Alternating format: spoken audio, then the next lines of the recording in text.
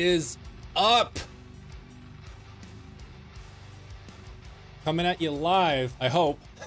Hit the comments and let me know if uh, if I'm coming through okay. Can you hear me? Can you see me? How's my hair?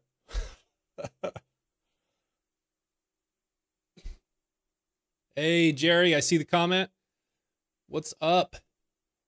Jyotish, yo, let's go. George, oh, I'm giving it a go. Gotcha, all good. Perfect.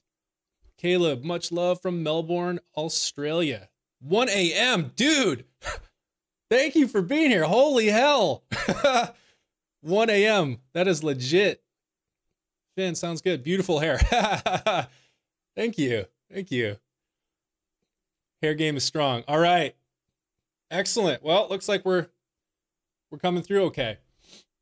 Awesome. So, yeah, the goal of this is to basically just take the next 2 hours. I'm hoping I can get it done in 2 hours. Um who is it Melbourne? Caleb, I know you said it's 1 a.m. I'll try to make it quicker than 2 hours for you, buddy. It's that's that's super late. Uh but the goal is to just walk through the entire mix of my song Broken Mirror. Uh, I mixed the song myself, did all the reamping and everything. It's uh, we'll go through it. You know, the drums are are a, a, virtual instrument, as is the bass. I tracked all the guitars. It was quad cortex for the guitars. Um, but then I sent it off to Jens Bogren to have it mastered, and he just absolutely killed it on the master. So we're to walk through the mixing aspect of it. So what you hear me playing back from Pro Tools is just the mix. It doesn't have the mastering in it. So it might sound a little bit different from what you hear on like iTunes or, or um, Apple Music or Spotify or whatever. Oh, you're a night owl. Excellent. All right, cool. So let's uh get Pro Tools up here. And let me switch over to that now. All right, so you should be seeing Pro Tools with a little bit of me in the bottom corner. And if I start cutting anything off from my video, I can I can get rid of my video. So, but I figured I'll leave it there for now. All right. So with that, two things. One, I want you to tell me if this is okay resolution, I know the text on Pro Tools is just by it natively, it's just super, super small. Even when I zoom things in, it's just they, they built things wicked small. So don't worry about the wicked small text that's like over here on the left or on the right. Um, really, what I want to know is like if I open a plugin, you know, can you see that mostly okay? All right. And if you can see that okay, then that's excellent. That's all we really need. Uh, and then the other thing is, how is the audio? We did a I did a quick test yesterday and things came came through okay, but how is it sounding for you now? We'll do a quick sample.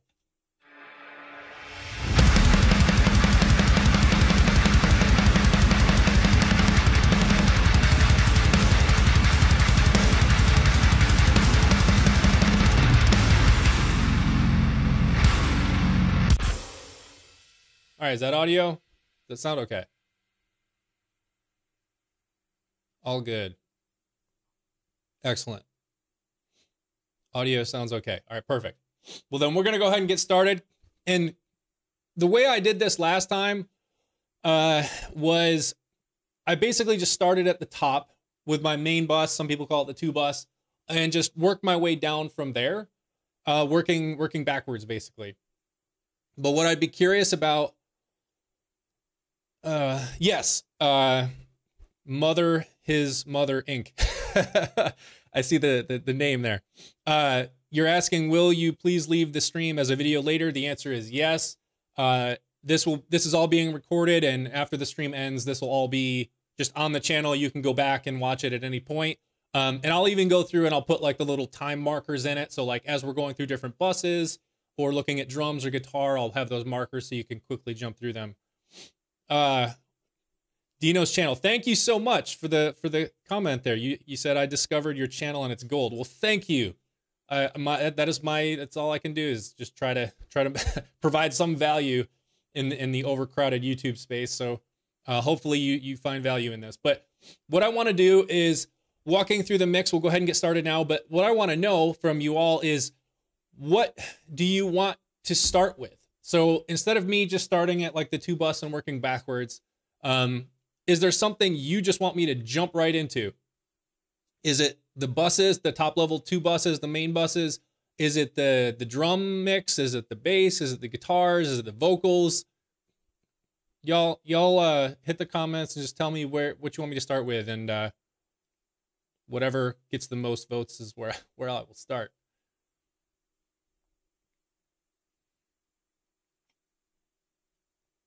Joey, I see the comment.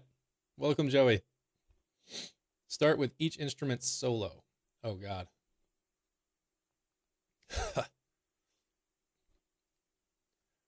drums. I see a couple for drums. For me, everything is a lesson, so whatever people like. Then build up with the mixing and all. To be all informative. Yeah, okay. Okay, so you're saying uh you, when you say start with each instrument solo, you say bypass all the effects so that it just sounds like craziness and then add the the plugins and everything that I did? How do you typically start a mix? Oh, Finn, that's a great question. I that is a great question actually. I, typically start with a bit of top-down processing. It's not like full-on hardcore top-down processing as you've probably seen from folks like I don't know. I know Nolly is probably kind of you know, most popular for top-down mixing stuff. Um, but I'll put up a little bit of thing, some stuff. Um, I have uh, some outboard 500 rack gear over here. I'll put some of this stuff on it. It's just like some EQ and a little bit of compression, and on my uh, on my uh, instrument bus, and and that's basically the extent of the top down. I don't really start with much on like the effects or the vocals, and I'll kind of add those later. Um, and then I usually start a mix with the drums, and I see a few people have mentioned drums balancing tracks? Are you going to do any sort of top down mixing into the? Oh yeah, yeah. Mm-hmm. Top down from raw to mixed. Okay. All right. So let's go ahead and let's just jump to the drums. How about how about we do this? We'll we'll do the drums, then we'll kind of work down from the session from there because that's typically the way I mix. I start with the drums, then I do the bass because you got your kick drum and your bass, which are all kind of eating up the low end, and you got to kind of balance those out well.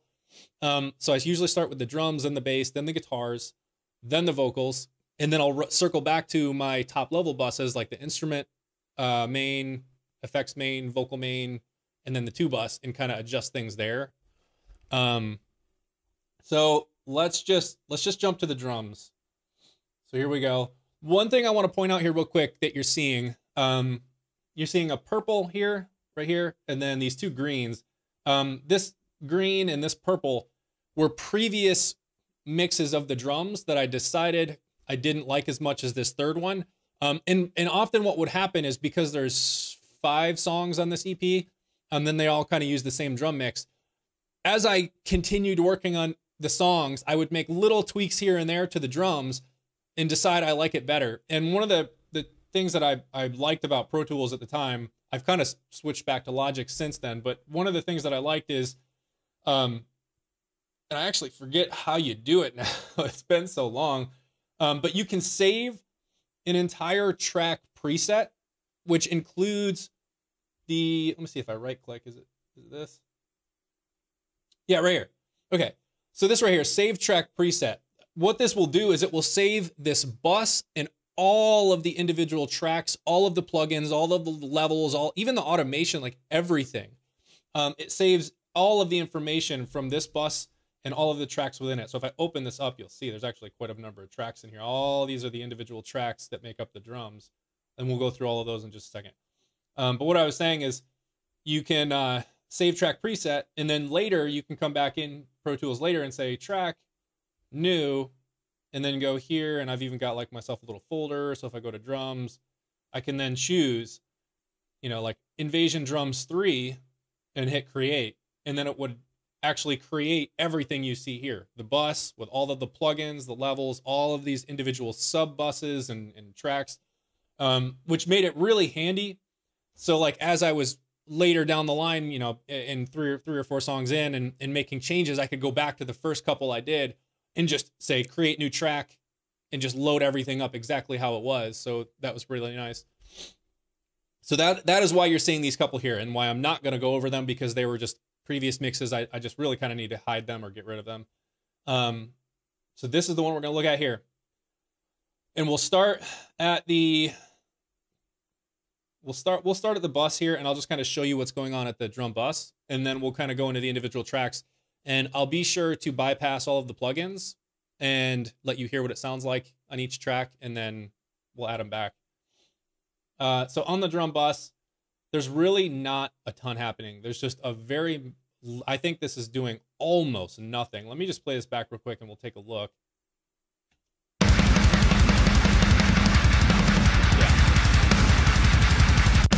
So this is just more kind of a, like a last bit of leveling on the drums, just to kind of even any any big spikes out or anything, just just even things out, smooth it out just a little bit. Um, and then from there we have a limiter, which you should absolutely be using on really all your buses, like all your your your final buses for for all your all your, all your um like subgroups, so your your drums, your bass, your guitar, every vocals, everything. Um yeah, Vinny, I, I see you you love this comp. The the the uh townhouse bus comp here from Plug Plugin Alliance is fantastic. Uh but you should you should absolutely be using a limiter and this just prevents um overdoing things in your in your top level main buses or even your two bus compressor um, so like when you get when you get up to those top levels, you've got your drums, you've got your bass, you've got your guitar, your vocals, everything going into it. And if you're not limiting your subgroups, you're gonna hit it and overload the compression, and it's just gonna make things duck and sound weird. Um, so we can see if they're if we're hitting any limiting here.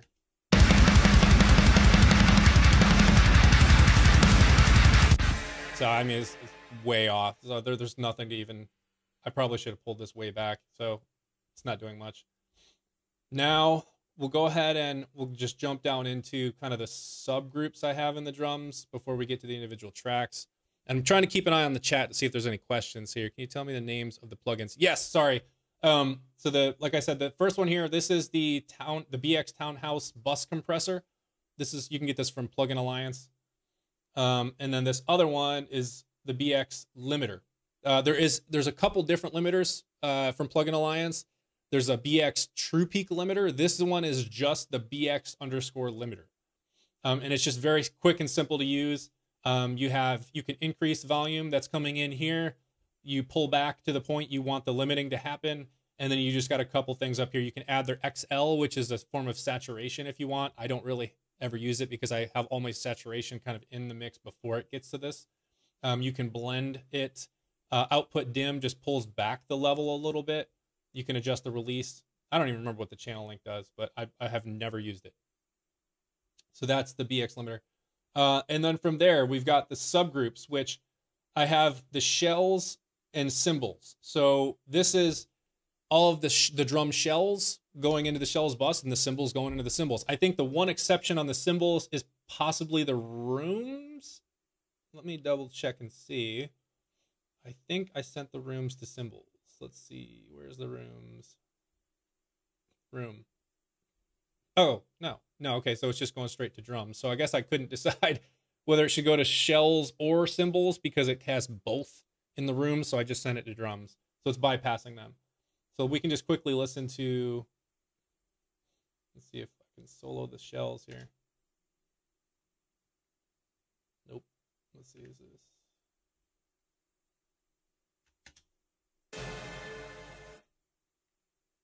All right. We'll get to in a second. Trust me, it's it's just the shells. So this is just the shells and just the cymbals. So we can look at what's happening here. And actually I can do this. Let me just mute the cymbals. Maybe this will just kind of give us the Below the drums. We. Now we to the shells. Okay. So what you're looking at here is the SSL native drum strip. Uh, and so this has a few different things built into it. It has a noise gate, it has a transient shaper, and I want to point out that if this button is is not like pressed in and lit up, it's it's off. So I'm not using the noise gate or the transient shaper. Um, however, I am using the low frequency enhancer, the high frequency enhancer, and the listen mic compressor. Um, and the last thing I want to point out is down here, you can actually change the order in which these individual sections are like processing. Um, and I did move the listen mic compressor in front of the high and low frequency enhancer because I wanted to compress before I added all this like additional saturation before it went, you know, before all that saturation goes into the compressor because it's going to overload the compressor even more. Um, so that's why I just kind of moved that there. Uh, and you can see there's really not a lot that's happening here. So we've we're only pushing the low frequency enhancer 18%, the high frequency enhan- enhancer not even 12%. Um, but what I'm going to do is I'm just going to go ahead and bypass the whole plugin, and I'll let you listen to the shells without it, and then I'll turn it back on so you can hear the difference.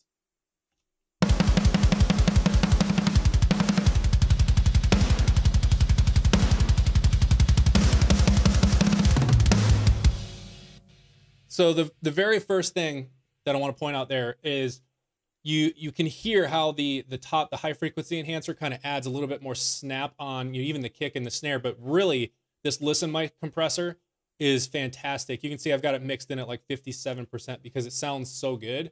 Um, and it just really made those things come to life and it adds all that kind of sustain and makes them sound big. So if I just turn this off and turn it back on, you'll hear the difference.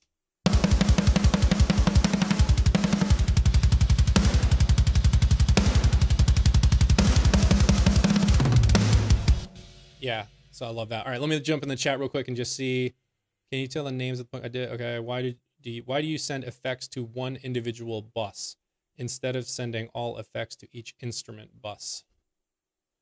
Um, I'm not sure I follow there. Why do you send effects to one individual bus instead of sending all effects to each instrument bus? So I have, I'm not sure exactly I follow, but I have kind of multiple layers of buses happening here. So I have like my subgroup of drums here. So this is my drums bus. Uh, and then under that, I have this is technically like an aux or a, or a bus. So this is receiving signal from multiple from multiple tracks, um, from the shells tracks. And then the cymbals is also like an aux or a sub bus or a subgroup that's receiving signal from multiple cymbal tracks, like hi hat, ride cymbal, overhead, stuff like that. Um, so I want those all separated so that I can process process them individually because I don't want to I don't want the same sort of processing on cymbals as I do the drum shells, if that makes sense. Um, I hope that somewhat answers your question. If not, um, let me know. So with that, I'm gonna keep moving on. So there is the drum strip, and then we'll move on to the cymbals, which is also using the drum strip. And so here we got we're doing less of the low frequency enhancement um, but because in the overheads you do get a little bit of you know the the kick drum and things like that, um, I found just a touch, just a little smidge of this low frequency enhancement here, just kind of rounded things off the way that I liked it.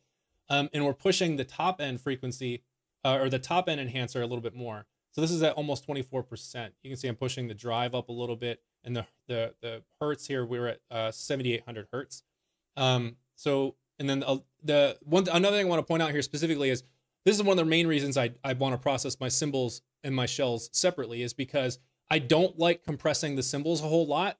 Um, as you can see, I've got the listen mic compressor at only 14% here. Uh, and that's because if you if you're compressing the the cymbals the same as you are your shells, you're going to get a lot of that whoosh, like washiness in the cymbals versus kind of the attack. Um, and I didn't want that. So let me uh, play this back with it off, and then I'll turn it on. And let me make sure we're just listening to the cymbals.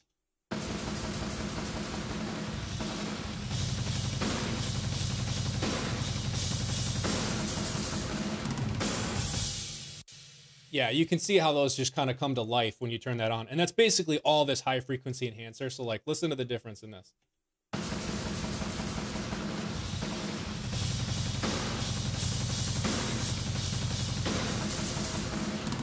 Yeah, it's it's fantastic what this thing does. All right, moving on. Kick verb. Uh, so this is just basically a little bit of uh, reverb for my kick drum. Uh, and actually, let me just kind of quickly run through the different kick things that we have happening here, just kind of give you more context. We have the kick verb, just which is just adds a little bit of reverb to it. We have a kick sum, which sums uh, a couple different tracks here. So this is the uh, the, the kick drum out of GGD Invasion. So let me open this and you can see we've got uh, full kit. So this is the setup I used for Invasion. Uh, I think I started with this low tuned brute uh, preset you can see here and then just kind of customize it to my liking. Uh, and then let's see, we have the Ludwig Black Beauty snare. Yep, go away. Top Pearl Master Birch snare. Uh, and you can see it's just the low tune toms, the red ones. Uh, and then from there, we have the, if I scroll down in Kontakt, you can see we have the uh, Bogren Digital drum samples. So we're using those. And then we're using on the snare, we have, we have also have the uh, 40 Sounds Middle Farm Studio snares. And it looks like I muted this one, the Brady snare. So I'm using the Pearl snare here. And then we're also using the toms uh, from Bogren Digital. And then we're using some snare samples here from Bogren Digital and the Harder Please kick from Bogren Digital. So this kick two is the Bogren Digital kick. The kick one here is the GGD kick. So I've taken both of these, processed them, and then I'm routing them into this uh, this kick sum so I can sum them together. So looking at what I did for GGD. So here is the Lindell plugin 50 series. And so this is not doing a whole lot. You can see it like the, I don't even think there's probably anything happening on the compressor. Just a little bit of EQ, pulling back a little bit of lows, some of the boxy mids, and then I it, this had a lot more snap than I wanted, so I kind of pulled that back. Uh, and then from the Bogren, the Bogren kick, again, not a lot here, but again, just a little bit more snap than I wanted. That's essentially it. So if we just kind of listen to the kick here, make sure we're unmuting the shells. Okay. And so if I bypass these two plugins, me, you can see it just kind of gets crazy because I'm also pulling back the level in here. So the, the level is going to come up, but there is the individual kick. So not a lot happening on those, but then we go into the kick bus and I'll pull these plugins up. So we have the SSL bus comp. How often you do this live? I want to make time to watch the whole thing next time. Did the drum multi-track? Okay, so two questions just came in real quick. Um, the live thing, uh, this is to Dino's channel. Um, the live thing, this is really only kind of like the second one that I've done publicly. I did do one other one as like a trial. Uh, so this, that was uh, unlisted. And so this is kind of like the third time. Um, I'm hoping to do it more often as I have, uh, you know, time to do it. So maybe I can try to do this like once a month or something like that and see how it goes. Um, but I, yeah, I'm hoping to do it more often. Uh, and then Jyotish, did the drum multi-tracks include sample blends or were they just invasion? They were just invasion. Yeah. So the what I sent you was just invasion. Um, because I felt like the the the the GGD was kind of like the the multi-tracks for the drums, right? And then the adding the samples part was I kind of felt was more kind of like the mixing phase because um that's where you as like a mix engineer would say all right well ggd isn't giving me exactly what i want or what i'm hearing in my head. How can i augment this? What else can i do to add what i'm hearing in my head what i want? And that's where samples come in. That's why i didn't include them. Um, but yeah good question. So then looking at the the kick sum again yeah just keep questions coming if you have them i'll, I'll jump to the questions when they come in so kick sum. we have this SSL bus comp. We'll just kind of quickly see what kind of gain reduction we're getting. Not a ton. It's probably upwards of max about 2 dB. Uh, and then we have low control, which is from Black Salt Audio, which is one of the sponsors of Monthly Mix, in fact. Um, so if you win a month a monthly mix, you get uh, any two bo- uh, two any two Black Salt audio plugins of your choice, any two audio salt plugins of your choice, and any Bogren Digital plugin of your choice. I think I got that right. So this is low control, and this is just great because it's got a, a low frequency uh, compressor, which you dial in here. You can just uh, set your threshold here. You set the, the frequency you want it to compress at and below here, and then you have, it'll show you the gain reduction. Um, and then this enhancement, uh, the enhanced side here is just, it just adds low frequency harmonics or saturation to help those low frequencies cut through better, uh, especially on smaller devices. So if I just kind of quickly play this back and we'll turn it off and then turn it back on. So this is off.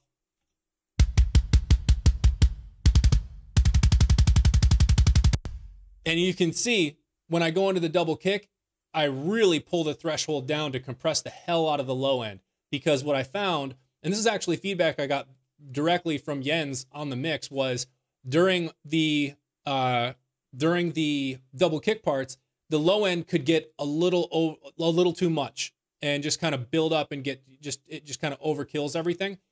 Uh, so when you so you can see I've got the automation here. So when it goes into the double kick, I just pulled the threshold down uh, so that it gets so that it uh, compresses more. So in fact, if I go kind of near the end of this section, you should see the compress the threshold go back up.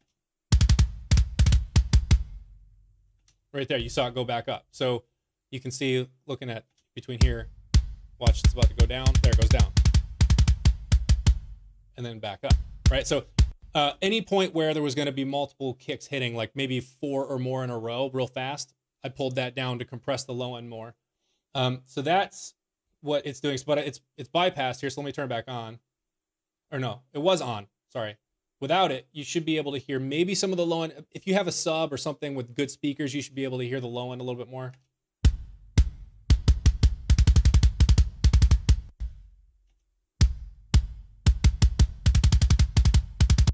It's just night and day to me. Like how it how it it add it almost adds like it, it makes it hit harder too. I love that just the way the compression hits on that low end, and then of course the enhance here. We're not doing a ton, but it just makes the low end hit so much harder. I love it.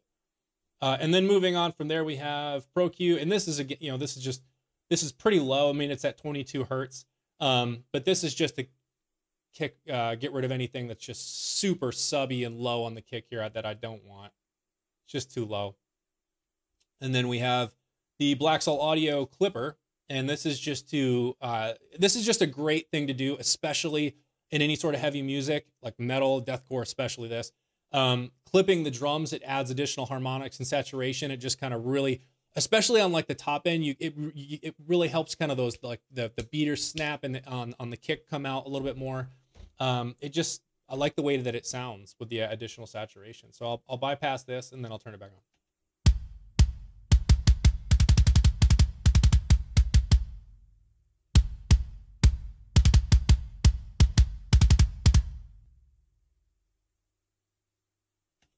And of course, it's going to go into a section where there's no damn kick. All right, let me go over here.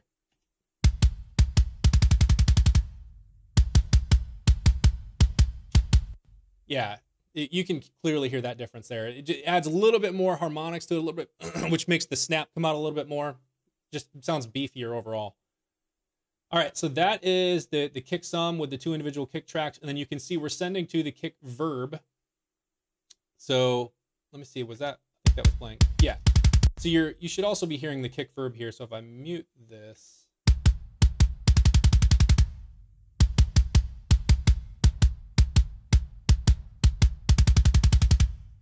Yeah, you can you can clearly hear how that just kind of adds a little bit of ambience to the to the kick.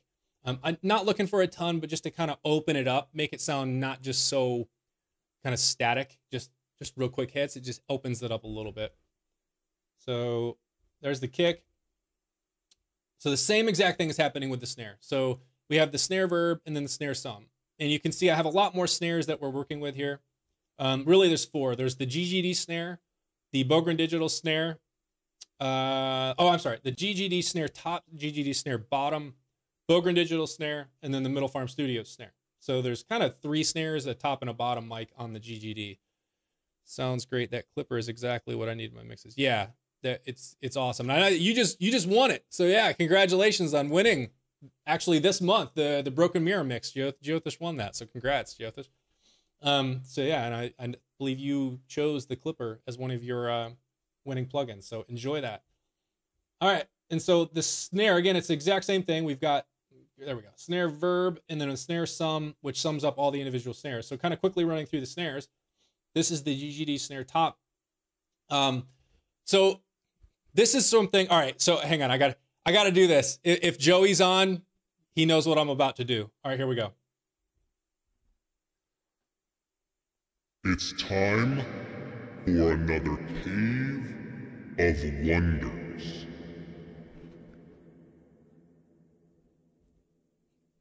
I, I hope y'all got that audio effect. I hope that came through. and I know there's a bit of a delay, so I have to wait and see if uh if you even heard if you even heard that stupid audio effect.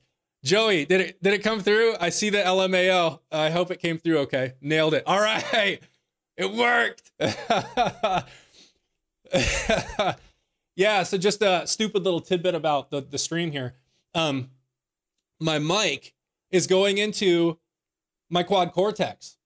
So that's actually what's processing all my my my voice before it goes into the computer and then into OBS. So I've got uh, a noise gate, EQ, compressor all happening right here for me. But I obviously because it's quad cortex, I also get pitch shifting and reverb and shit like that. So uh, I figured it'd be fun to throw some stuff in like that. So this is this is kind of one of the the the knowledge bombs, if you will, that um was was just like a, a you know head explosion moment for me was learning how to use a transient designer or transient shaper, uh, especially when it comes to drums, especially on a snare drum, um, because a lot of times you you hear these snare drums and they're just very very very short, just real all transient, just smack right um, so let me give you an example. Let me bypass all these plugins. And let's just listen to this GGD snare top. Let me make sure I don't have anything else. All right, let's see. Oh, you know what? We're, we're still processing through through this, so I need to get rid of all these plugins here. I can do that. All right, now this is just the snare top from GGD.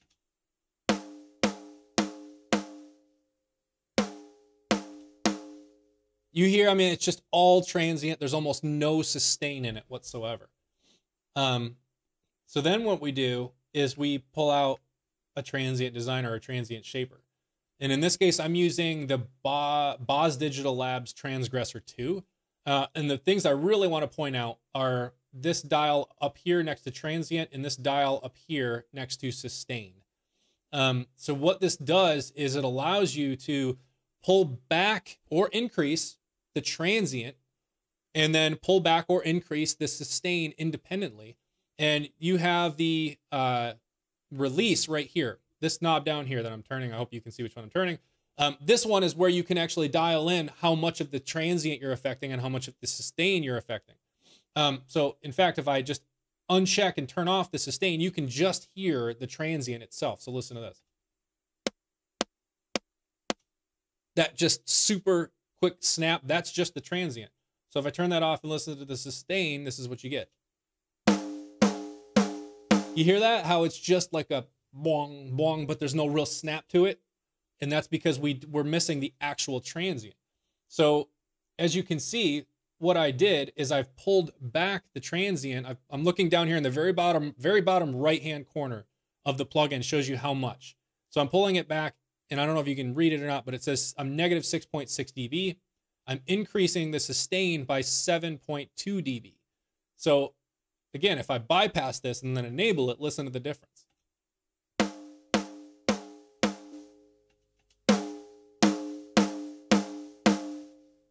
Now it's almost starting to sound like a snare drum, right? So it's got a little bit of a, a ring to it, a little bit, a little bit more sustain. So again, like listen to this. I mean, that's it's just night and day the difference there. Just that one plugin. So that was absolutely the very first thing I knew I had to do here because that that GGD snare was just very transient heavy. Um, and then the next thing I'm doing on this is again the Lind uh, and I forgot to mention this earlier. This is the Lindell 50 series plugin from Plugin Alliance. So here we're just basically doing a little bit of EQ. Looks like maybe a little bit of compression. Um, but so at 500 hertz, I'm really kind of pulling that back because it kind of got boxy pulling back a little bit of like the super highs, 20 kil, uh, 20 kilohertz, boosting up a little bit of 5K, and at 1K just to add a little bit of beef to the snare.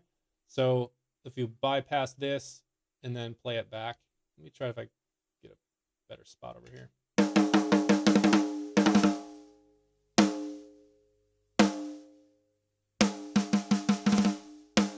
Yeah. So you can hear a lot of the kind of the mid boxy area at 500k kind of that got rolled off. We got a little bit more beef, um, and the level kind of came down just a little bit because you can see I'm pulling back the level here.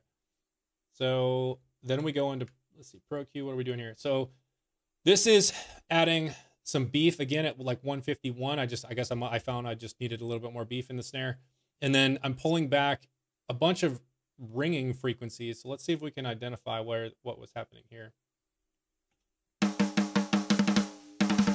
I mean, you can almost see them as it's as it's playing. So let me do this and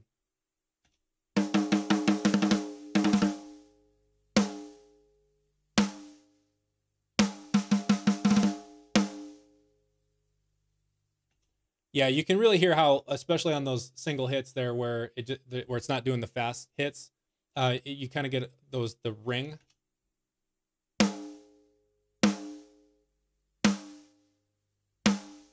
So it just kind of helped tame a little bit of that ring. It was just a little bit too much. So that's what's going on there. Now, PX limiter. So limiting the individual snare itself. Let's see what we're doing. So this is just kind of rolling off a little bit more of that initial attack from the transient. I must have, I, I guess at this point I thought it's still a little bit too much. That initial attack is too much, and I would just limit it. And so that's all it's doing here. All right. And then the snare bottom only has the Lindell 50 series on it. And we're just doing kind of the same EQ and a, pretty much the same compression, boosting up a little bit of the lows, pulling back the boxy mids, boosting up 5K, pulling back the top end. So let's solo this. It's very quiet. I don't like a lot of bottom uh, in in the mixes there. It's just you know if I'm doing stuff like jazz, right? Like you want kind of that sizzle stuff in it, but not in deathcore. I just want the the, the smack. Uh, let's see. Yep. Okay thought there was a question, but there's not. So I'm to keep going. So we combine both of these two together. This is the GGD snare. Okay, so there is that. And then we go into the Bogren Digital snare. So bypassing these plugins. And we'll just kind of take a look at them first here. So this is Lindell 50 series doing almost nothing. It looks like I just rolled back a little bit of the top end. Maybe there's a little bit more sizzle in it than I wanted. So I just rolled that back. Pro Q. Again, just kind of some ring and even pulled back a little bit more of the top end. And again, limiting just to, to get rid of some of the initial attack. So let's uh, let's hear what it sounds like without these plugins.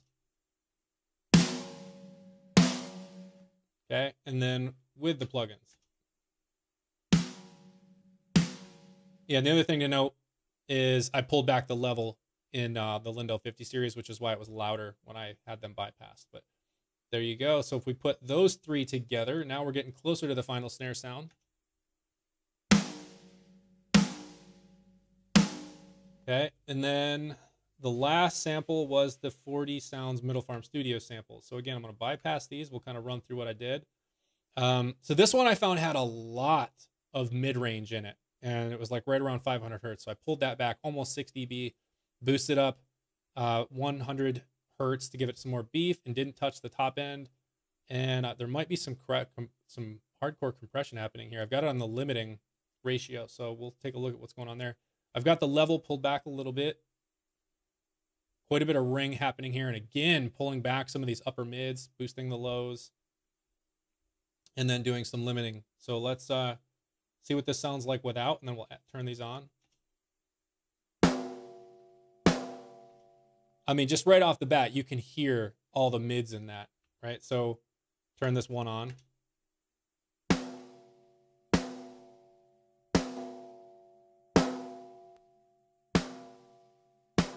Huge difference right there in just that one plugin.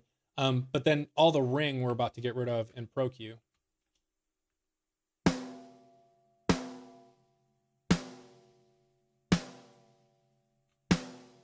And then adding and limiting.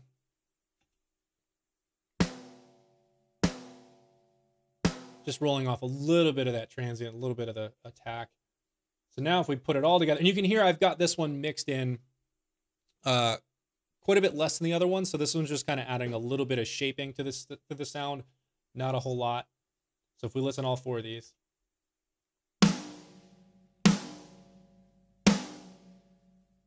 Now we are closer to the final snare and now it's time to look at the bus because there's actually a lot that's happening here. And the first is this virtual mix rack with the incredible uh, FG stress. Uh, so this is what is this? The distressor. So this is based on a distressor. The hardware version is called a distressor um, from Empirical Labs, I believe. Uh, and so this is a Slate Digital. This is it's just for anyone who's not familiar. This is uh, the plugin suite is from Slate Digital. This is called the Virtual Mix Rack, and then you've got all these individual things you can pull in over here. So like if I just grab one and pull it in, you, you know this is the FG2A compressor, right? So the only thing I have here is the FG Stress, and I'm really crushing this thing.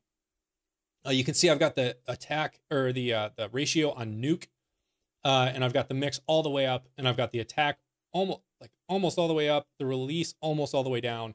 And this is just again to give me some insane smack, right? Because which is why I have the the uh, I'm sorry, the slowest attack and the fastest release to give me a slow attack so that it doesn't compress the initial transient, but then it compresses really hard and just lets that sustain. It brings out more sustain in the snare. So if I play this back and unbypass this, what we should hear is all of a sudden the snare just sound like it's hitting 10 times harder and get more sustain as well. Me solo just the snare.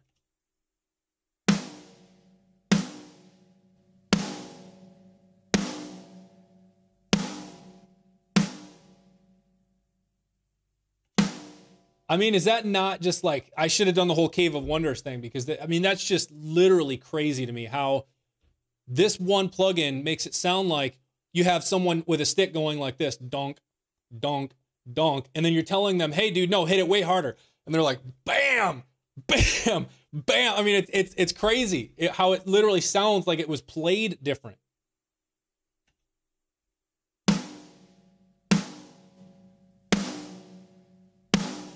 Right? All right, so that is the virtual mix rack, and that is on my bus, uh, the the snare sum, which is for all the four snares coming together. Um, then we go into Spiff, and all I'm doing is using Nolly's. In fact, this is a, a from from Nolly, uh, his beefy snare preset, which just kind of boosts around 100 hertz and below. Um, and I've pulled back the depth. I think the depth when he has it is probably right up around here or so. I've pulled it back quite a ways because I already added some beef to my snare um, so I've just rolled back the depth, which is basically like the mix knob, how much of it's being blended in. Um, and so here, if we go and we'll bypass this and turn it back on, you should hear some more low end beef coming through when I turn this on.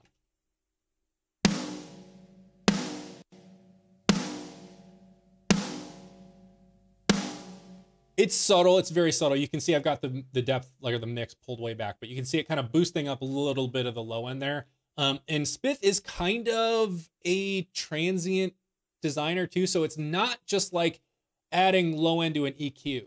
It's actually helping it like translate the low end to where it hits harder too, right? Because it's kind of like a transient shaper. Uh, and then from there we have Pro Q3 pulling out a little bit more ring Let's see if we can solo this and hear what I was hearing here.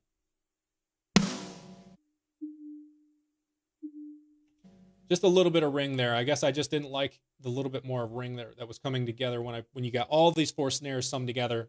I got a little bit more ring. Just pulled that out. And then the BSA clipper.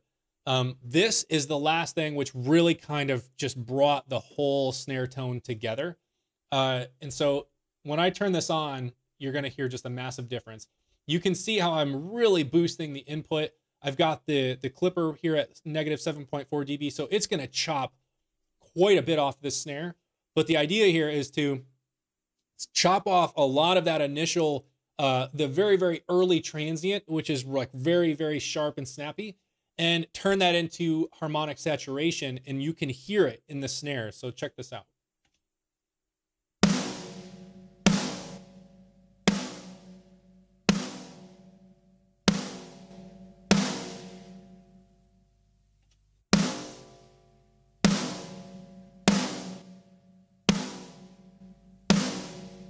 Yeah, huge difference there. All right, so let me see if we question on the snare samples. I see you have some ones you tried there, but you ended up not using. What do you look for when layering samples? Um, let me see, what was I using? Snare. Oh, yeah, so there was a su- supersonic and a, and a wanker. Uh, you, you gotta love the Bogren Digital uh, names on everything. Um, so that's a great question. Like when, when I'm when I'm trying to layer samples, what I'm looking for are things that complement each other. So if I'm listening to one snare and I hear it has a really great like top end transient snap to it, but maybe missing some of the low end uh, beef.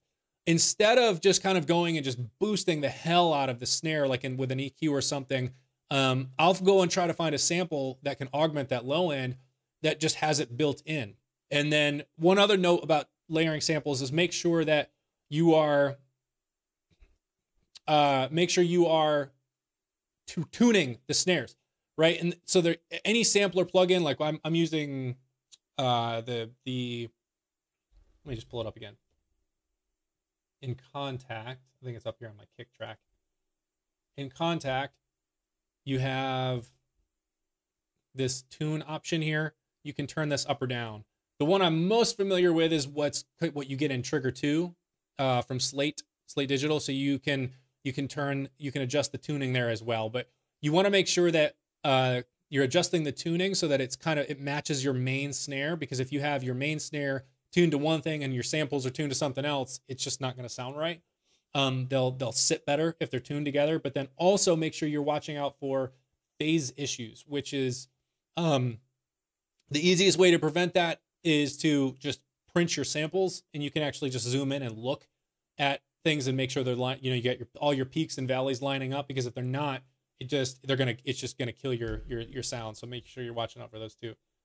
Uh, let's see. So let's keep trucking here. So that's the snare.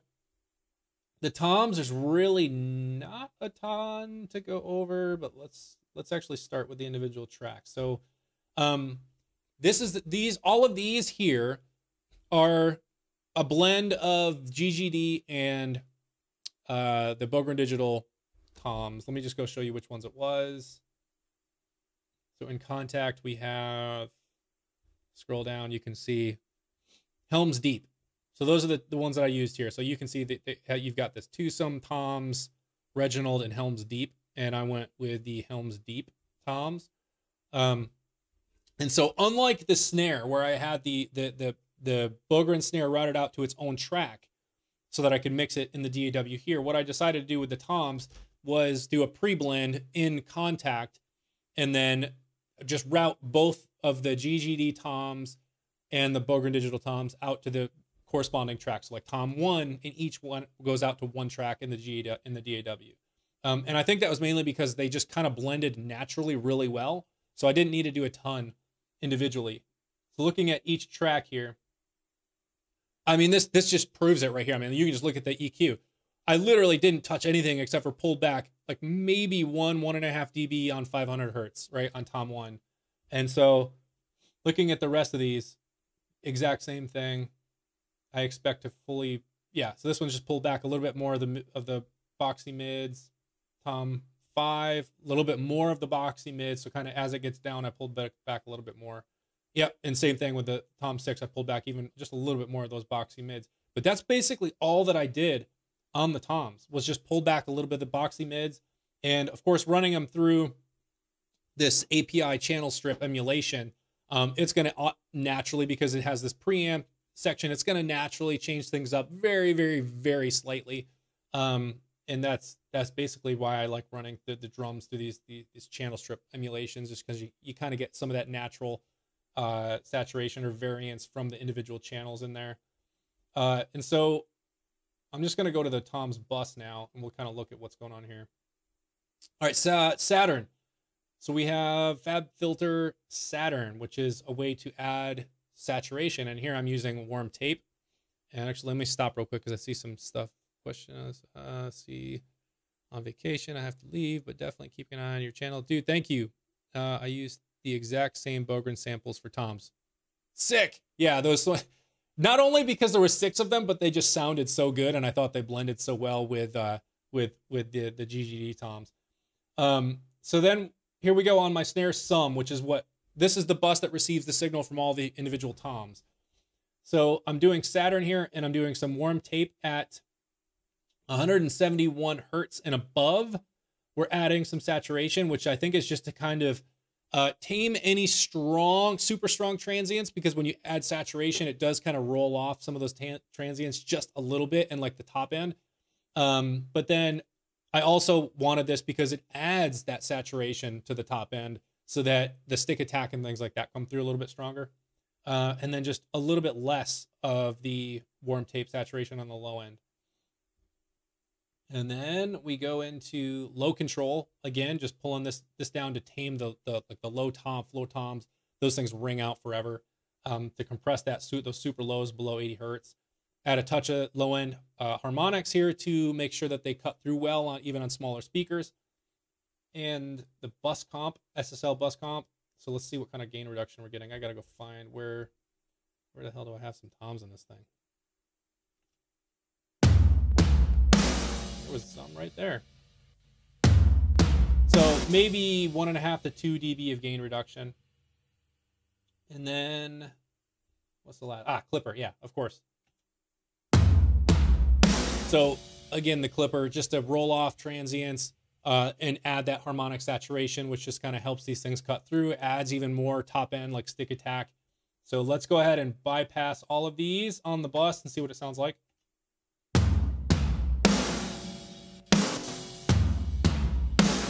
Still sounds pretty good, right? So they just sound they just sound more clean, if you will. So we turn on Saturn. Now we get a little bit more of that that top end stick attack. We add low control. We get more low end focus, more low end control. Bus comp. Now they get just a little bit more punchy with that SSL bus comp and then the BSA clipper and that you can see I'm really I'm boosting this input up 4.6 and chopping these pretty good. So that just really adds a nice harmonic saturation of those toms. Uh, it kind of dirties them up a little bit so they don't sound quite as clean as they did without it. So there is the toms. Let's see what we got left for the drums. The rooms. So let's go ahead and start by bypassing this, and then we'll start with. All right, let me. So okay, so the way I did this is I have I, what this track is called Kontakt rooms. It's basically just the rooms from GGD. So it's it's the the out the the individual um, room tracks from GGD and the and, and Invasion you get rooms close and rooms far. Um, so that's what's coming into this track. Then we have the Bogren Digital snare here, snare room. So this is the uh, the let me let me show you. It'll be easier to show you. So we go into Kontakt. What I did is you can see we have two uh, of the snare drums here. So we have a super nice and a wanker. The super nice or super nice, that is going to the snare, the like in my snare bus. That's the, that's this like the snare, the, the main snare you know, a mic right on a snare. Uh, and then the wanker is actually the the the uh, ambience. Pickleon, maybe, maybe no. Oh, okay, I lied. I lied. Um, snare. Uh, this the the Bogren Digital snare is super nice and and no, it's not super nice. That one's muted. Scroll down more, Jeremy. Wanker is the snare top, the direct, the pick pick Olon, Piccolon, however the hell you say it, is going to the room track. That is the ambience. So, and why is that? It's because I found I didn't like the ambience from Wanker as much as I did from the, the other snare tracks, like this Piccolon. Uh, so I sent this one out to my room track so that I could process it like a room or like it was part of the GGD rooms initially. So then if we scroll back down, we have that one, and then we have the same thing with the Middle Farm Studios uh, snare sample as well. I, I just took the room sample, uh, the room track from that uh, from that virtual instrument there, that sample, and routed out the rooms into here so that I could process it like again like it was part of the rooms track. So let's solo this individual rooms track from GGD, and we'll bypass the Lindell 50 series. And you can see the only thing I'm really doing here is again pulling back some of the boxy mids and rolling off a little bit of the top end ah, I've also got the FET compressor. One thing about this Lindell 50 series that I do really like is that you can swap. It's almost like these they're 500 series modules that you can swap out. So you have a VCA comp or a FET compressor. I liked the FET compressor on the rooms because it rolls off transients really nicely. So let's have a listen to this.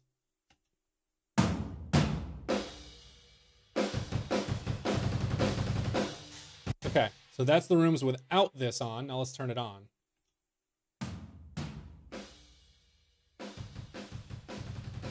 It got a whole lot quieter, and that's because I've pulled the level way down here. So I'm, I'm not sending out as hot of a level. So that is the GGD rooms. Now we have the, I think it was the Piccolon, again, however the hell you say that, uh, from Bogren Digital. This is the snare sample. So again, the Transgressor 2, the transient shaper, what I'm doing here is pulling back a lot of the transient and just leaving the stain. In fact, I'm, I'm pulling back almost 20, it's like 18.2 dB on the transient from this room sample because I don't want a strong transient in my rooms. Oh, what the hell? what do we got? A bot blowing up the chat now? Well, that's wonderful. Ignore the bot. I'm to keep going. If it gets crazy, I'll, to, I'll see if I can add a moderator or something, but stupid ass bots. Um, all right, so let's see why to do that. Get rid of that. whatever. All right, so back on the Bogren Digital sample. Why is everything selected? Stop it. There we go. Let me turn these off.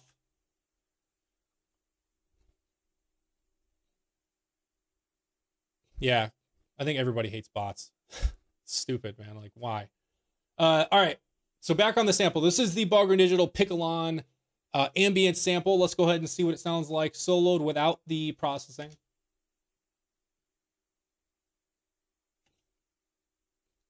Let me make sure I'm in a spot where it's playing. There we go.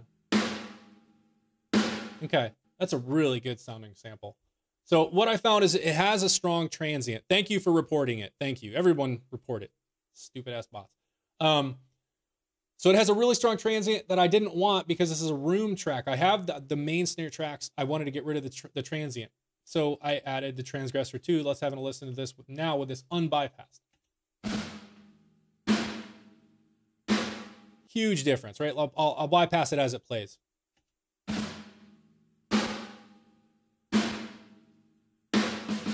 I mean, massive difference, right? Rolling off all that transient. It makes it actually sound like it's more distant now, too, without that transient.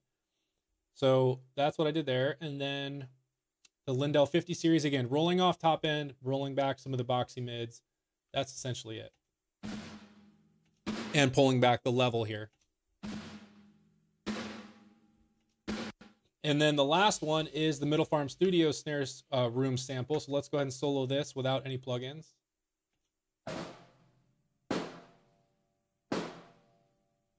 Okay, that's what it sounds like. Now with Transgressor 2 to roll back all that transient. Makes it sound more distant, like more like a room. Here we go. Now the Lindell 50 series. And this one, you can see I rolled back the mids a ton, 9 dB, and even rolled back a lot of the top end. So listen to this.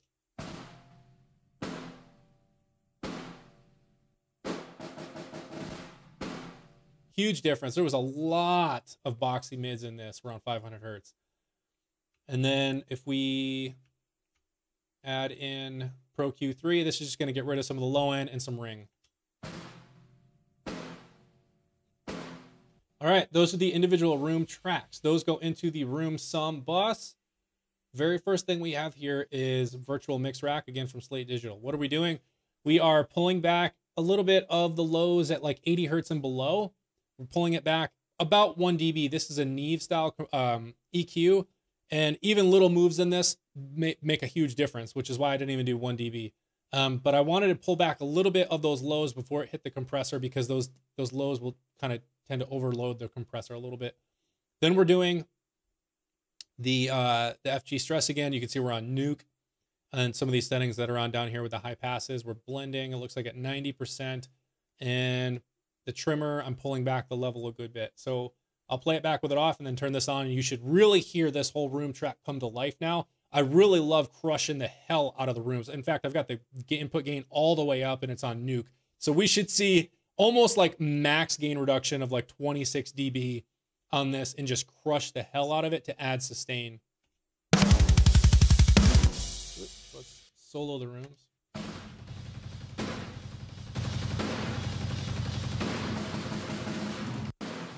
Yeah, I mean, you can see how those just kind of come to life, right? Adds all that sustain, makes them sound big. So that's the room processing. And the last in the drums is the hi-hat. We're using the SSL channel strip 2. Let's see what we're doing. A little bit of EQ. So it looks like I boosted up at like almost 18, uh, 18 kilohertz. Boosted that up about a one and a half dB. Uh, 1.5 looks like I pulled back around almost a half a dB. Jeez. At 500 hertz. Pull, oh, okay, well, it's a hi hat. So I just pulled back a lot of the, the low mids and lows. So I'm pulling back a lot of that low end. So we've got a little bit of dynamics happening here, just a little bit of compression. And that's basically it that's going on there. Soothe 2, this is an absolutely magical plugin. Um, and this is just the harsh hi-hat preset. I, I don't remember who's, if this was a, okay, I don't know who that is. I thought maybe it was Nolly's, but it's not. Um, but this is just one of those presets that comes with it, and it's fantastic, and it really makes a huge difference, especially if your hi hat's pretty harsh. And then we have Pro Q3, just kind of getting surgical with some top end ringy nonsense that I didn't like, so got rid of those. And then this was a trick that uh, I found. I don't even remember where I found this. Someone had mentioned in maybe it was like an Instagram story or something. Someone was asking, you know, how do you get that beautiful hi hat, you know, nice top end hi hat sound? And they said you have to try the the red 2 EQ, and this is from Focusrite. Uh, and you just add a little bit of that top end shelf, and it's magic. And so I tried it, and I thought it sounded really damn good, so I kept it. So let's bypass all of these solo the hi-hat. And of course, that's the section where it's not playing. Let's see. Is it back here? There you go. All right. So that's without the plugins. Let's go ahead and add them back one at a time. So this is the channel strip 2. So you can see that got rid of a lot of the kind of boxy stuff uh, down low, added a little bit of top end and then soothe.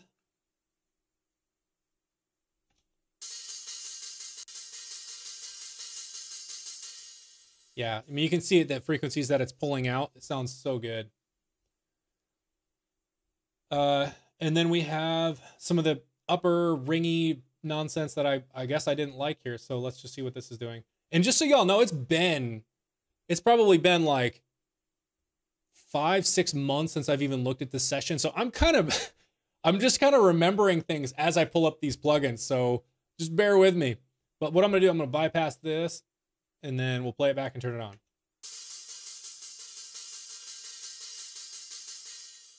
Or I'm sorry, it, it was unbypassed when I started it. Right, so now it's bypassed. Okay, so it does sound a little bit smoother when I turn it on. Um, maybe there was this right around like 2K or something. There was some harshness here, especially maybe around 10K or something. So I'll leave that there. And then we have the, the Focusrite Red 2 EQ with the top shelf.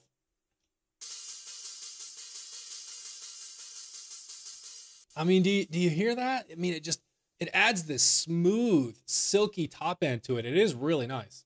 So bypass. I mean, it, it is nice. I like this. So there's a little trick for you. The Red 2 is fantastic on a hi-hat. And then we have the ride cymbal, which the only thing I'm doing here is pulling back a little bit of the boxy mids, and I added the FET compressor. This must just be to maybe some of that uh, the the ride kind of got a little bit transient heavy. This rolls off transients nicely. Maybe add a little bit more sustain. Um, in fact, I don't even know if there's even a ride in this song anywhere. I don't remember if there is. Let's see, is there something over here? I don't think there's a ride in this. I can't recall, anyways. So we'll move on. The effect cymbals. Let's see what's. Okay. So this is like the China and stuff like that, I think. Uh, all right, so Lindell 50 series, adding some some nice top end here with the 20 hertz boost at about two and a half dB, pulling back a little bit of 1.5, pulling back some of the lows. Obviously, these are cymbals. I don't need some of the boxy mids and the lows in here. Adding the FET compressor again to roll off transients, add a little bit more sustain. Uh, and so let's bypass this. And the next thing is soothe. Again, just kind of making it a little bit easier on the ear. Uh, just kind of soothes any harshness. So let's play this back with them bypassed, and then I'll turn them on one at a time. So this is the Lindell. And you can see the level. I'm pulling back the level, which is why I got a little bit quieter. And then soothe.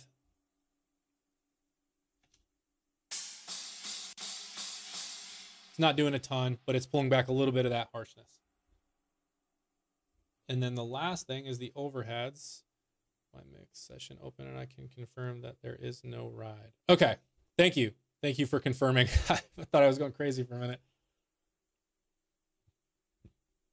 All right, so now we have overheads, and this is the last in the drum. So you can see we're boosting again at 20K, pulling back almost 4 dB and 1.5, and just really kind of pulling back the boxy low mids, 500 hertz, and then 100, we're pulling those back as well. I do have the the built-in high pass engaged at 108 hertz over here uh, on this as well. So that just kind of rolls off anything below 108 hertz. And then the FET compressor again to roll off transients and just add a touch of sustain on these overheads. So let me bypass that one. And then again, soothe. So this is basically the same as the effect cymbals. Bypass that and listen. Let's listen to the overheads now. And I'm pretty sure I'm pulling back the level here. Yeah, I'm pulling this back quite a bit. So it's going to be louder uh, to begin with, but then I'm pulling it back about 8 dB in this plugin. Right, solo it. Okay, and now it's going to get quite a bit quieter. But you can already hear how this this 20 hertz boost of about two and a half dB on this Lindell 50 series on the 500 uh the 50B EQ sounds really damn good on these cymbals. Like listen to that difference again on the top end. Pay attention to the top end. So that's with it off. This is with it on. That's so smooth. I love that. And then we have the Soothe 2, just to kind of tame any harshness. So this is with it off. And again with it on. Yeah, so it's really kind of pulling back a good bit here in the in between like two and eight K. And it just really kind of smooths things out really nicely. So that is the drums. So let's go ahead. Let me make sure I didn't leave anything bypassed. I did. Limiter on my rooms. And then the snare verb. Okay, I forgot to go over the snare verb. I'll go back to that real quick. So this is using the, this comes with my Slate Digital All Access Pass, but it's the Lustrous Plates plugin. And I'm using, I started with the Iridium plate. Um, and actually, I think it was like a, oh, right here. So you click over here and you go to drums and you go snare verb and it's going to give you the iridium plate with some stuff. I did change a few things here. I think like the reverb time damper, things like that. Uh, but this is lustrous plates. It is fantastic on a snare drum. Uh, and then I'm doing after this, I'm doing the virtual mix rack with uh, some low, pulling back some of the low end to make sure that doesn't overload the compressor here, and adding a, another bit of compression just to add a little bit more sustain to this. So what I wanted was not a long reverb in lustrous plates, kind of something that's a little bit uh, shorter of a, of a time, but then add a compressor to extend it, which I, I just like the sound of that better versus a longer sounding reverb, which is why I added this. So let me see if you can hear this or not.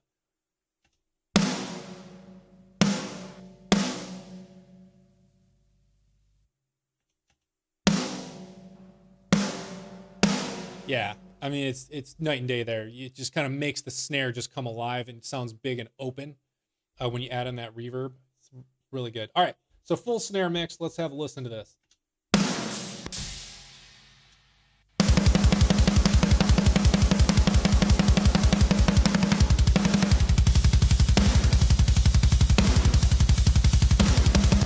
The way that snare smacks is just, it smacks you right in the face.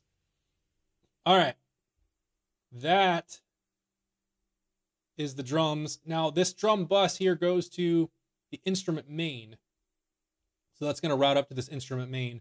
We'll circle back on these top level buses uh, in a little bit. So that's the drums.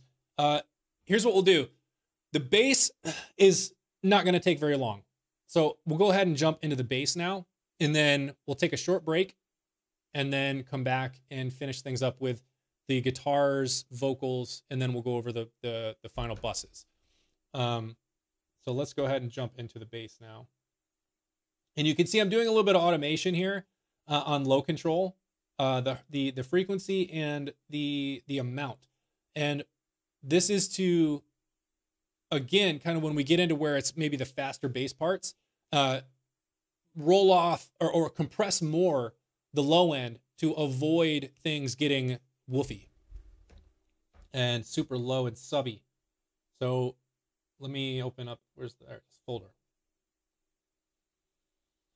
All right, so these two are the only ones I'm using here. You can ignore the other ones; they're just disabled. Um, and I'm just using the kind of the standard split blade, split bass uh, method here, where this first one is going to be like the low end. So if we play this back, this should just be the low part of the bass. And then we listen to this, and it's going to sound just the top end. And then you put them together. All right, so the low end. All right, so first of all, the bass is DjinnBass from Submission Audio. So this is a virtual instrument. It's a MIDI virtual instrument. Um, you can see all the settings I have here. I don't have the, the amplifier or anything like that engaged. It's literally just the DI output from DjinnBass. So there is what that looks like. From there, I'm then using the low pass in Pro Q at like 215 hertz to give me the low end only. And then I've got this channel strip on, and I think I'm just pulling back some of these like 200 hertz. I pulled it back a little bit more, adding some dynamics to give a little bit of compression, this SSL style compression. So let's go ahead. There's no reason to bypass Pro Q3 because like this, this is what it sounds like. It's just going to be the DI.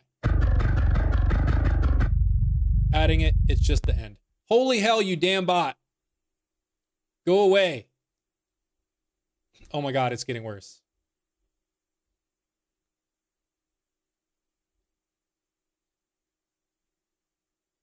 Let me see.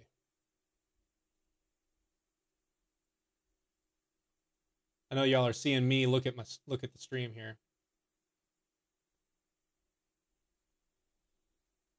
Let's see if I can boot this thing. All right, let's remove. Oh, that just removes the damn message. All right, well, I guess all I can do is report it. Sure. All right. Well, if y'all can report that damn thing, I don't I don't know how to get rid of it.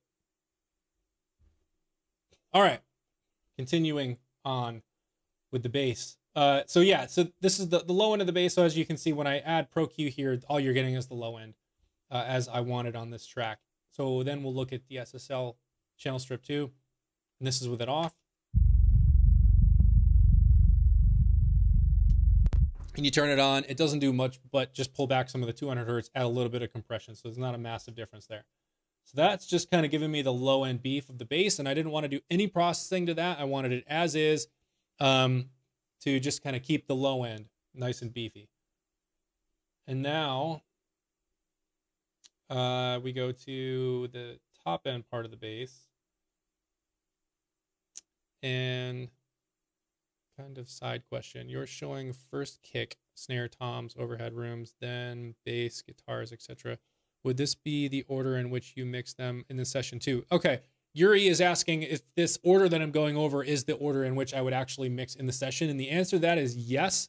Um, that's just the way I like to approach a mix is always start with my I, I mentioned this kind of the very very beginning um, but I'll add a little bit of of EQ and compression kind of on my instrument bus at the very very top level just to just to it, it's not like super hardcore top down mixing it's just a little bit just so there's less I have to do throughout the other buses.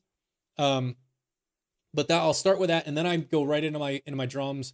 Then I do the bass, and the reason for that is because your kick drum and your bass drum are going to always be fighting for that low end space. Um, and so having those two, like mixing those two uh, right back to back, is a great way to make sure that your low end doesn't just get blown up. Uh, and then I'll go into my guitars and then my vocals. And the reason for that is because um, I want all the instruments in place and mixed the way that I like to hear it. And then I start working with the vocals. And if I need to go back and make slight tweaks here and there so that the vocals can sit on top of everything without just increasing the level, then I'll do that.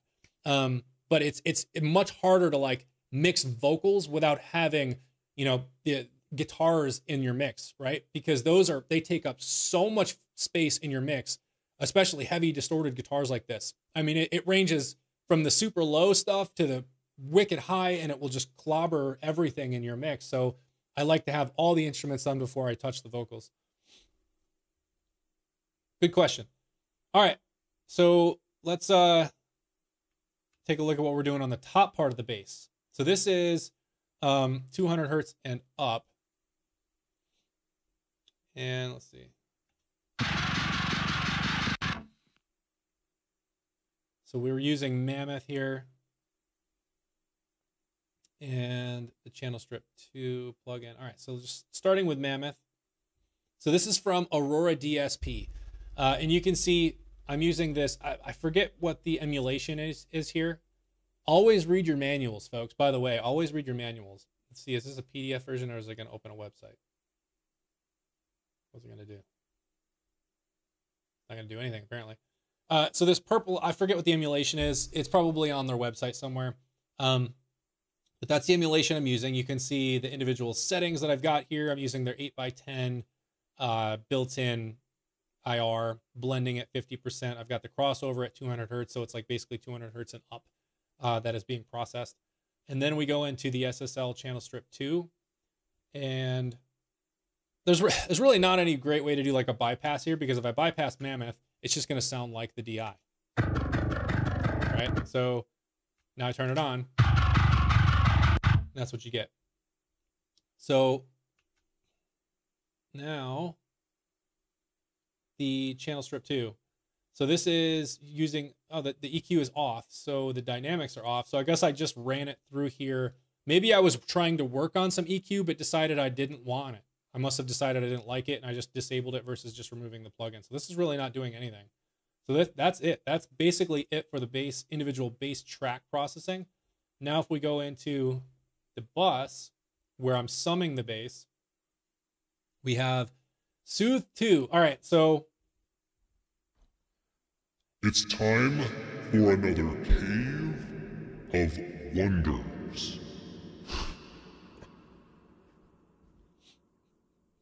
All right. Another cave of wonders coming at you. So there's a few different ways that you can manage the low end in your mix between your kick and your bass. Um, I've seen many ways. I've seen you know you people using dynamic EQs and Pro Q to to um, have your bass uh, have have your you're sending your bass into or your your kick drum into your side cha- basically side chaining your kick into your bass uh, track or your bass bus, and then using a dynamic EQ to you know like on the low end to to trigger just when the kick hits, right? So when the kick hits, you lower the low end on your bass, so to allow the kick drum to come through without both of them using that same low end space. Um, there's there's that. There's also track. There's also things like Trackspacer and other things that kind of do it magically for you. Um, but the one that I've really found that I like is using Soothe 2. And I am using a side chain here, you can see it's activated. Um, and the side chain in Pro Tools, I forget where it is. I'm so used to Logic. Okay, right here. So we're using bus, and you can see I'm using kick sum as my side chain. So I have the side, I've got the kick coming into here, and I've got the side chain active. And in fact, if we solo this, solo the bass, now you should be hearing the kick drum.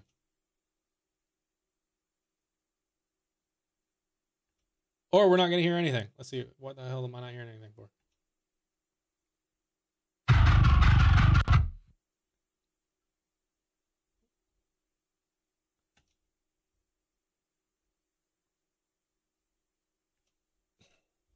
Uh, it's because it's soloed. Here we go. Watch now. So I can't just I can't just solo the bass. Uh, be- actually, let me see if I can do this. Let me see if I can. See if I can solo this. There we go. Okay. So when you can see when I turn on the sidechain solo, all you're hearing is the kick. And you can see the gain reduction happening on the low end in Soothe when the kick hits. Ready? So watch this.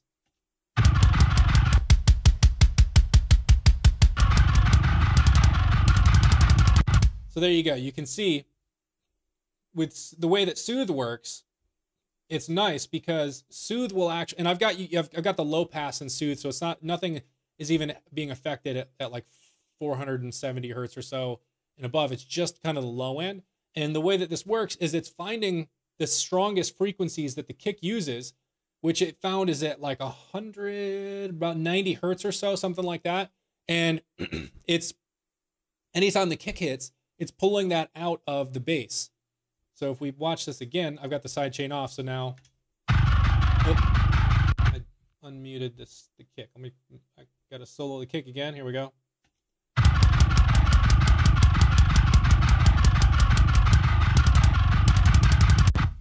So there you go. Now it's actually even lower. It's at like almost 50 or 60 hertz. So that is the way that I have really found, excuse me, that I like taming the low end and the bass when the kick hits. All right, scene sound clip. Yeah, I, Joey, I was thinking about that. I gotta, I gotta make a new scene, something big with the with like an actual cave or something, some silly for the Cave of Wonders thing. I gotta, I gotta do that. Um, Okay, so that's what's happening in Soothe. Now we're also using uh, low control on the bass, and I've already mentioned how I've got this automated so that different parts it's compressing more than others. So let's take a look.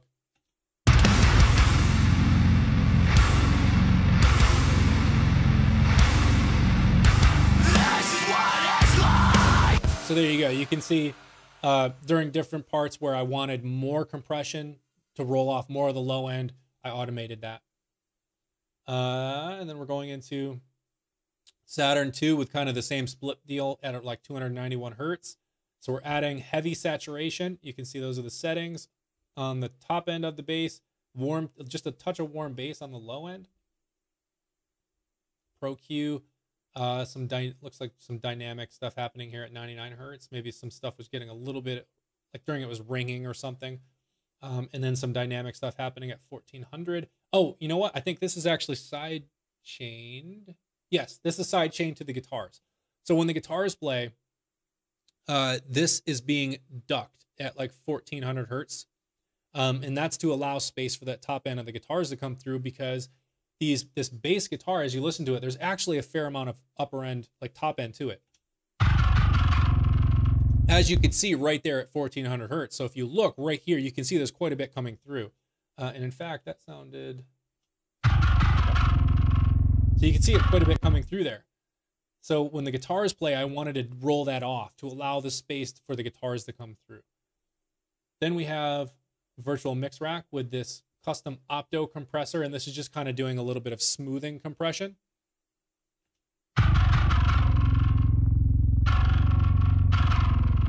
So it looks like it's hovering around 3 dB of gain reduction.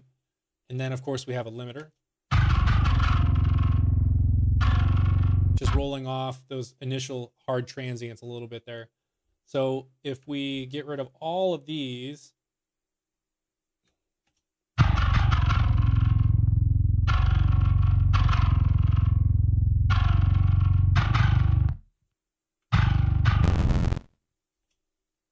Oh, come on.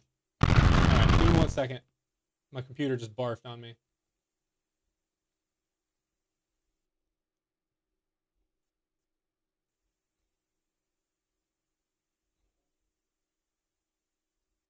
I found whenever that audio crap happens, I can just flip the bitrate like that and it.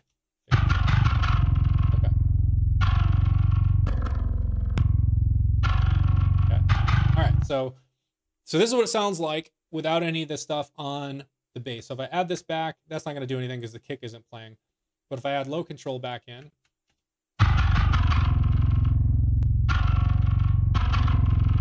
you can see how all that super low end below 90 hertz kind of gets crazy. So then we add Saturn.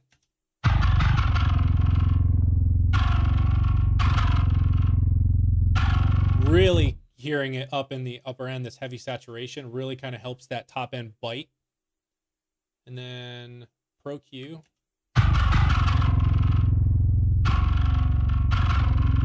Not a massive difference there. We're just pulling back some of this top end above, like about 9K or so. Um, and then rolling back a little bit at 8, uh, 800 hertz, some of the top end, 2300 and up this, with this high shelf. So just pulling back a little bit of the top end. And then the virtual mix rack opto compressor. Just kind of smooths things off. And then the limiter, and that's it. So then if we put the, let me close this up put the drums and the bass together.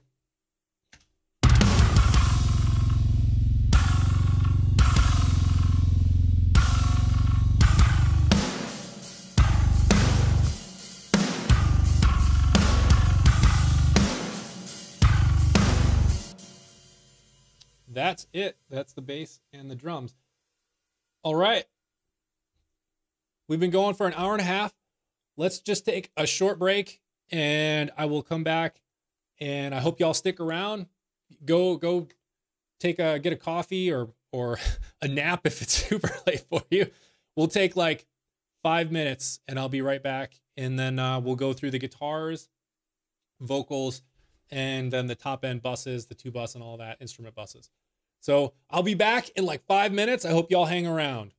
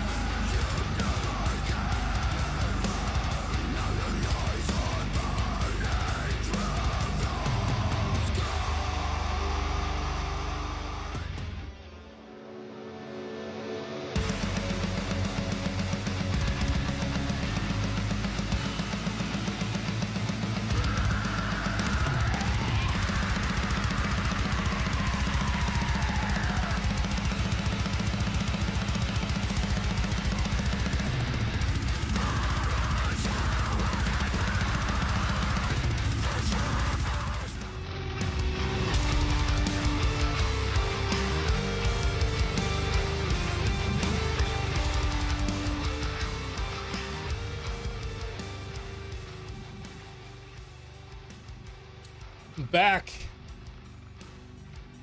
Told you it'd be a really short break. All right. I'm going to give you all a minute to catch up because I know the stream is delayed.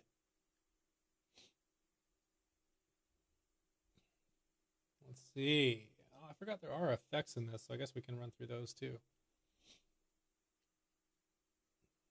Y'all back with me?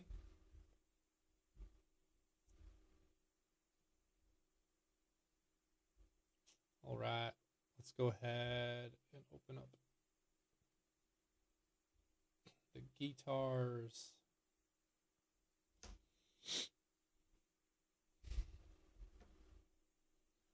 Good to go. All right, excellent. So let's just go ahead and get right. Awesome. You got yourself coffee. Nice. Amazing. Thank you. Thank you. Thank you. Thank you. Awesome. Y'all got some coffee, man. That's great. I should have gotten me one. I guess I got to do some talking now. All right. So let's just go ahead and dive into the guitars now. And let me switch over so you can see it. All right. So we'll start with the leads and then we'll work our way up to the bus. I mean, there's really not anything on the bus. In fact, it's literally a tiny little dynamic EQ and a limiter. So there, we went over the bus. That's literally it. Uh, so guitar leads bus. So this has a few things in here. And let's uh, see if we can zoom in a little bit. So we've got a few things. Let's just kind of listen to what's happening here.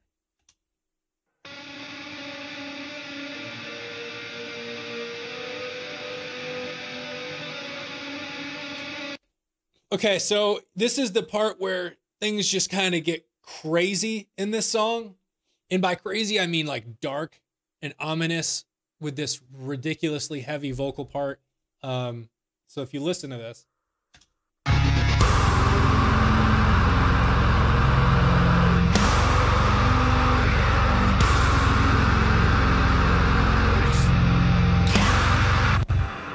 and when I was writing this and uh, like I had it tracked and I had it without this. Like I, I didn't have this. So it was it was it was like this.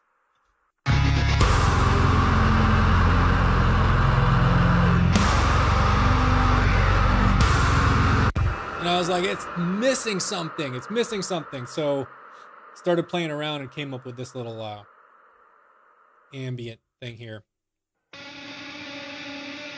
Anyways, the tone from this is 100% quad cortex, uh, as is all the other guitar tones on this album and this song.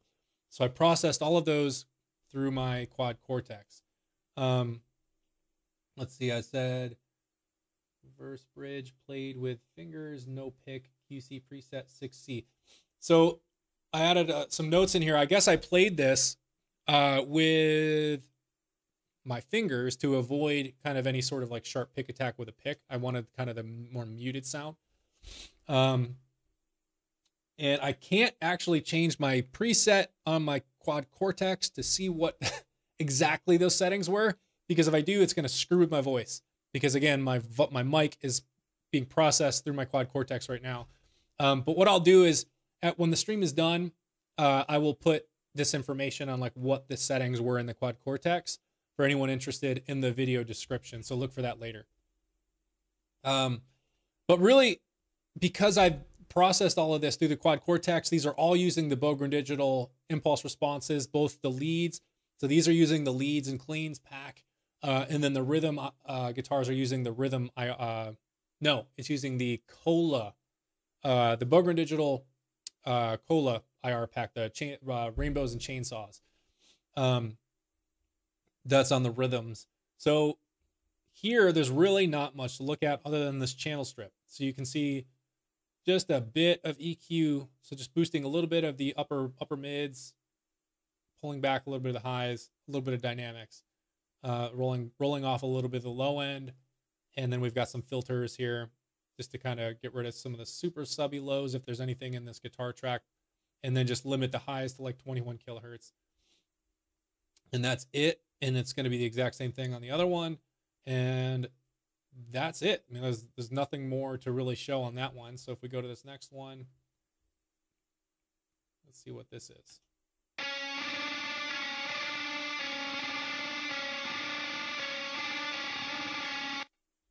So that again processed on the quad cortex. Not much to show in the EQ, but other than the kind of the same stuff, just rolling back some of the lows, rolling back some of the boxy low mids, 400 hertz,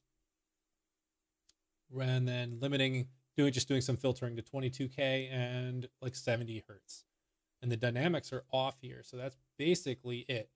So that's it for those. Let me see. I think there's that's the only kind of like leady ambient guitar parts. So that's that's it. So let's look at the bus. Pro Q doing nothing. So I'm just gonna bypass that.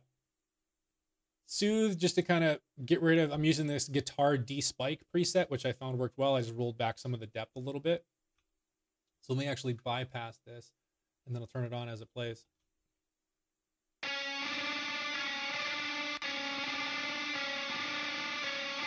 doing almost nothing on that part. Let's see, does it do anything more over here?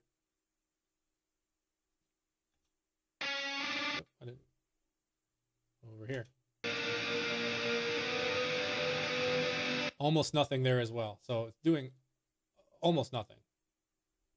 So then we have the SSL bus comp. Let's see if this is even doing anything.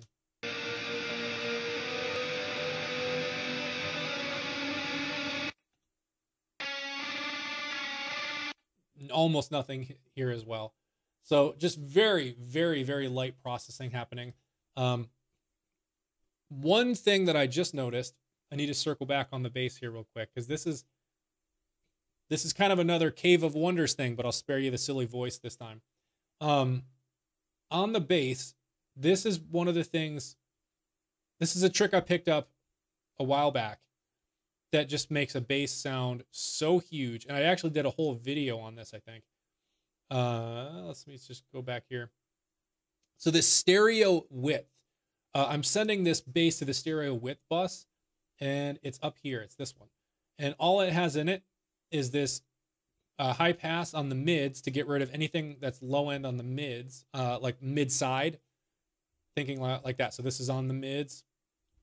We don't want the low end going into the reverb, and this is this is going into a short reverb. This is actually called empty closet. It's only 210 milliseconds. And then what I what what but what I have here is I have the stereo width on this pulled all the way up. And what you'll notice is when I play this back, I'm going to solo the bass. Let me make sure I'm not soloing the leads anymore. I am. So I'm going to turn this off and then listen to the insane difference when I turn this on, how all of a sudden the bass just it sounds like it's wrapping around your head. You know, if you have headphones on, you're really going to hear the difference.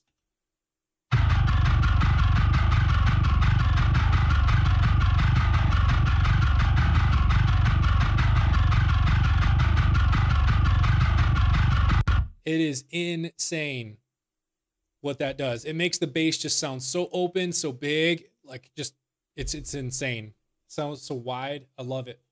And the reason I just thought of that is because I'm doing the same thing on my guitar leads to make them sound all big. So right here, I'm sending the stereo width. Oh, just way over here. So you can see I'm sending to the stereo width here as well. So let's see if we hear a difference without it. Oops, it's going to be over here. Nope, it's going to be over where the hell is it? Over here.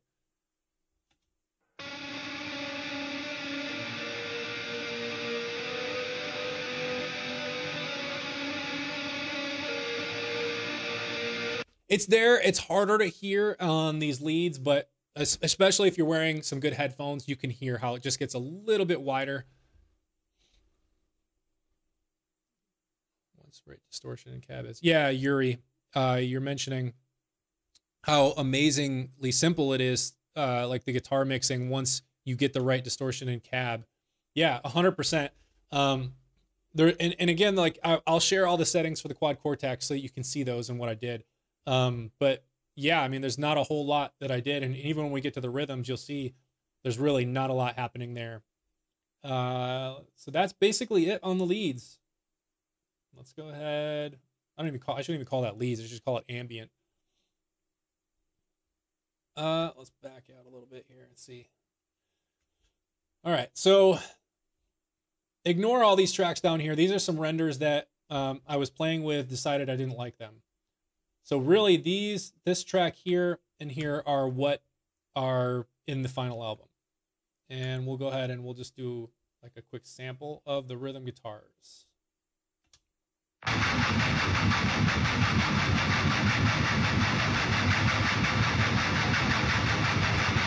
that, that guitar part is so ridiculous. Uh, my is too far away to grab, but I, I would show you. But it's, I, I, forget what the tuning is on this. It's pretty damn low. Uh, it's one of the lowest tunings you freaking bought. Stupid ass thing is back again. It's gonna piss me off. Uh, so it's super low and it's this dissonant chord, and I'm literally just it's like the third fret to the second fret to the first fret, and then second fret, first fret, second fret, first fret, second, and then back up to the third. So it's din din din din din din din din din din din din din din din din din and it's just fast and ridiculous, and it sounds so heavy. I love it. And then it goes into these holds.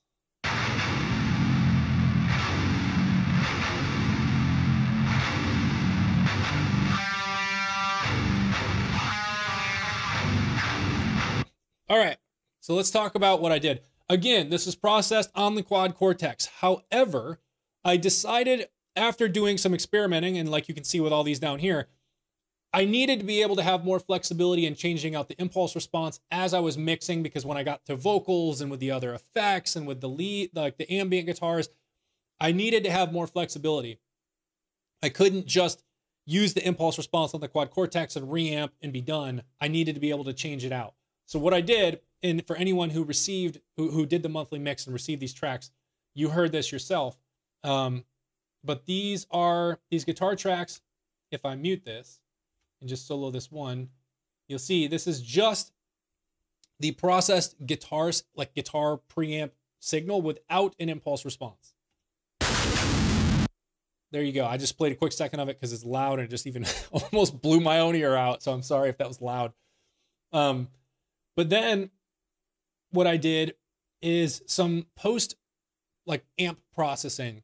And so what I wanted for this guitar tone was I wanted more I wanted more mid-range. Typically I I'm cutting mid-range, right? Like I want to cut some of the mids and and boost up some of the highs and lows to get that more scooped heavy tone. But what I found with this is because it was already so damn low, I I wanted more of that raw dirty sounding mid range. So I pulled back some of these boxy lows, pulled back all the lows, pulled back some of the top end to allow some of that kind of dirty upper mid range to come through. So I'm going to turn on the IR so we don't blow our damn eardrums out again. And I'll show you. Oops, I gave away a secret. Damn it. No, you didn't see that. All right. So I'm going to turn on the IR. And here I'm using, which one is on? This is the Bongen Ballin. This is the down-tuned Rhythm IR pack from Jens Bogren. So I lied earlier when I said it was the Cola Rainbows and Chainsaws. I think I had started with that, but right in the middle of doing this, uh, this uh, these songs, Bogren released the down-tuned pack, and I was like, yes, that's the one I need. So that's the Bongen Ballin from uh, from Bogren Digital down-tuned pack. So I'm gonna turn that on so we don't blow our eardrums out. So that's on. So this is what it sounds like with just that IR without this uh, pre-EQ happening, and then I'll turn it on so you can hear the difference.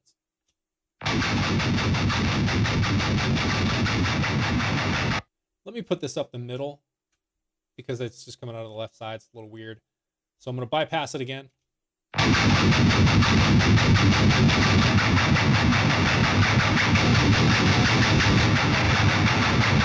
You hear how it kind of adds a little bit of that, like this upper mid-range honk in there? Like that's the best way I can describe it is like that, like a honky sound. I wanted that. I wanted that in this. I wanted it to sound honky. I wanted it to sound dirty and nasty because that's just the feeling of this whole song is dirty and, and raw and nasty. Um, so I, I liked how that EQ curve there kind of emphasized that honky mid range a bit. And then another way that I got the honky mid range to come through even more, um, and and kind of scooped the uh, like uh, EQ'd this this DI before it hit the impulse response, or not DI, hit this uh, EQ this amp signal before it hit the impulse response was the Fleisch EQ in Kola's uh, what is this thing called? The the Grindstein. So you see everything down here is off. They're all they're all off. So I right click it turns it on, right click turns it off. So the only thing on is is the EQ section. But this Fleisch EQ is so damn good. Uh, and I didn't need to do much. So you can see dozer is down to nothing. Cleansing is 18%. So the way you have to think about these EQs is if you turn it up, some of these turn frequencies down, others turn frequencies up. So like cleansing, as you turn this up, it's actually turning down some of the lower mids, hence cleansing. Um, scooping, you turn this up, it turns down some of the mids again. So here I've, I've got 18% on cleansing, 19% on scoop. The one I really liked was the chainsaw, which is up 25%. And then Blade adds this disgusting top end, which is so fantastic, by the way. Uh, and that's at 18%. So let me bypass this, or it is, let's see, it is bypass. All right, let me play this back and I'll turn it on.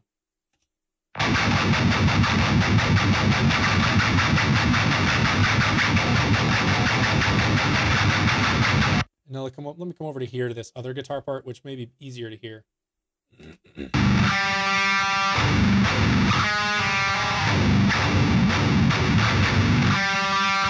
Yeah, I just I loved the the chainsaw in the blade on this, especially the chainsaw. It just kind of gives it that almost HM2E kind of vibe, right? So it adds a little bit of that to the top end. And then the last thing was the channel strip plug-in. I have the EQ on, but I'm not seeing. Okay, so I just pulled back a little bit of the low end. I must have found it just got a little bit too much. So I used the SSL style EQ.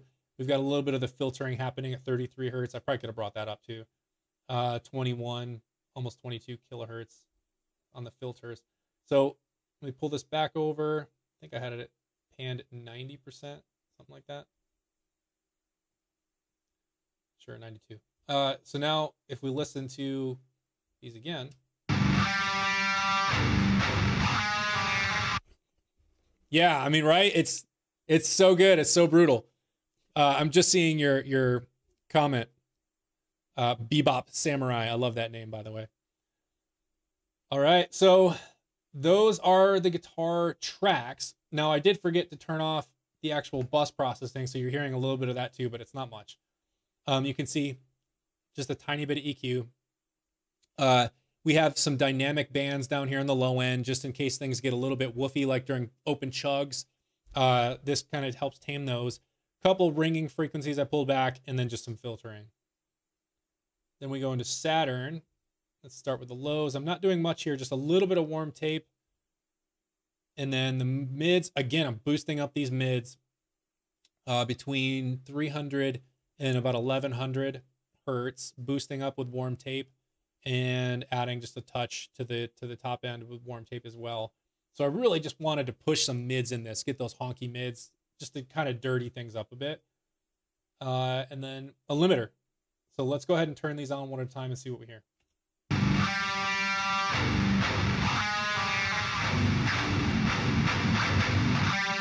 Not a massive difference there. I mean, I can hear a little bit, a little tiny bit of the kind of the fizziness at the very, very top end drop off when we engage this. Now Saturn.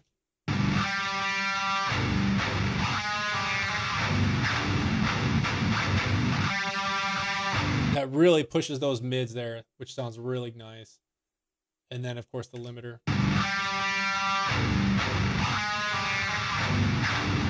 And we're not hitting it there. So that's the rhythm guitar tone. That's literally it. Uh, that's how I processed it. And again, I will put the information on what I used in the Quad Cortex uh, in the video description. I believe it was one of like the 5153 amp sims, but I'll again I will double check on that and I'll put the info in the video description after the live stream. So that's guitars. Uh, oh well, one one last thing. The guitar, individual guitar buses, leads, and rhythms go out to the top end guitar bus, which I've already showed. It's just e, uh, Pro Q with just a tiny little low end dynamic band and then a, a, another limiter. So from there, we're just going to keep going down and get into the effects. Some interesting stuff happening here. And so these are just kind of some reverse cymbals and bass drops, I believe is all this was. Uh, see, what exactly in the mids do you usually add saturation with the Saturn for the guitars? Where exactly? Oh, I can pull it back up. Um, I will usually look at the actual like curve. So if I play this back, you can see the, the curve of the guitars coming through. Oops, there they were.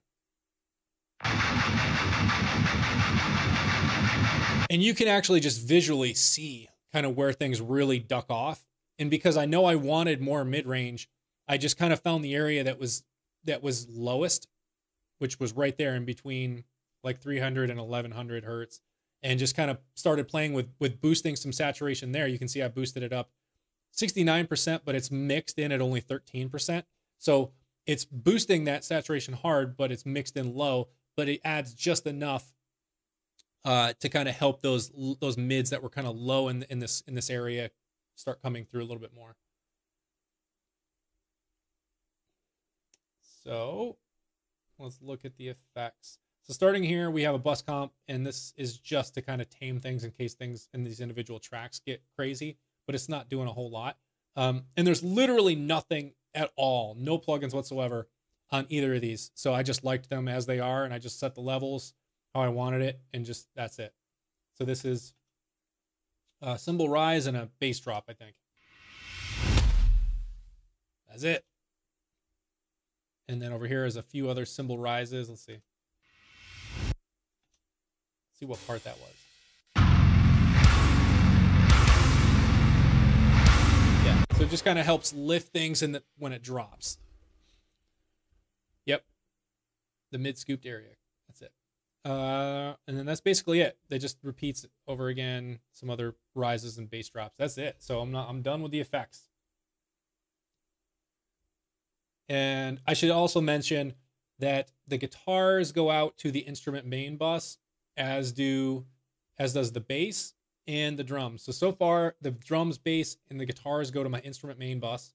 Now the effects but the effects go to this effects track as well as the synth goes to effects main. So the synth here, we'll look at this. And this is just all kind of like ambient layering. Um, again, as I was listening to this song back, I just felt like there were things missing and I wanted it to sound bigger. I, I wanted that, that kind of those empty spaces to be filled with something. Um, and a lot of times it was even just more a feel thing. Like I wanted, I wanted the feel to come across in a different way. Maybe you couldn't even necessarily hear it so much as it just changed up the feel of things. And really, a prime example of that is I'm pretty sure this very first thing that comes in here, um, you, you kind of hear it at the very beginning of the song. It fades in, but then when everything comes in, you don't really hear it unless you're listening very, very specifically for it. But if I mute it, you probably would, would hear the difference or even feel the difference. Um, so that's this one.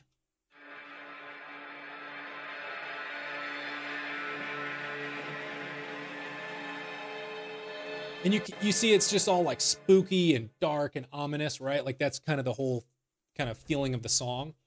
Um, but it's mixed in really low. So it's it, again, it's not meant to be something that's that's like strong and prominent. This is coming from Opus. Uh, let's see if I remember what the hell Opus is. Uh, this comes from. This is a subscription to something with all kinds of instruments. Um, I'm trying to remember what the hell this was from. This thing was like crazy powerful too. I will have to look this up and figure out what again, it's been it's been like 6 months since I've been in this session and I haven't used this instrument since and I forgot where the hell I got this thing, but I'll put the information in the description below. But this plugin is called Opus. Uh, and you can install all sorts of different I mean the, the company that makes this has tons and tons of different orchestras and choirs and different sounds Uh, and so I was messing with this twisted textures, which is where I got all these crazy sounds from. So this is the disturbed, frantic uh, texture here. And so let's take a look at what I did. So you can see there's just some heavy processing here. There's a lot of top end I didn't want. Getting rid of some low end. Soothe, obviously, just to kind of tame any harshness on the top end. And then the channel strip with some filters, just a touch of EQ and a little bit of dynamics. So let's see what it sounds like without these.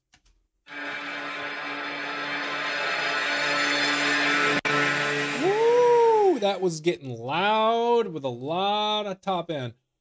So I'm obviously pulling back the le- the level quite a bit in one of these plugins, probably a channel strip. But you can hear how there was a lot of top end in this. And that must be what was happening here. So let me engage this plugin, uh, Pro Q3, and see what was happening.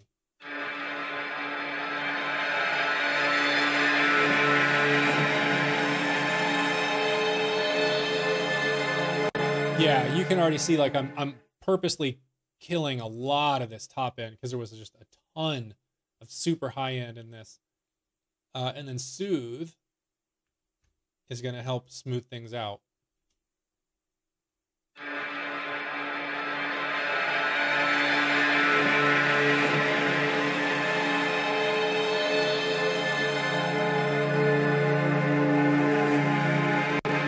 Run it again. This is bypassed.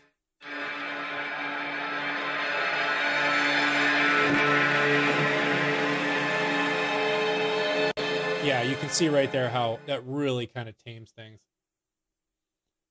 All right, and then the last thing is this channel strip. So if we look here, I must yeah, oh yeah, you can see I'm pulling back the output almost 20 dB. So this is where all the out the, the level is being pulled back.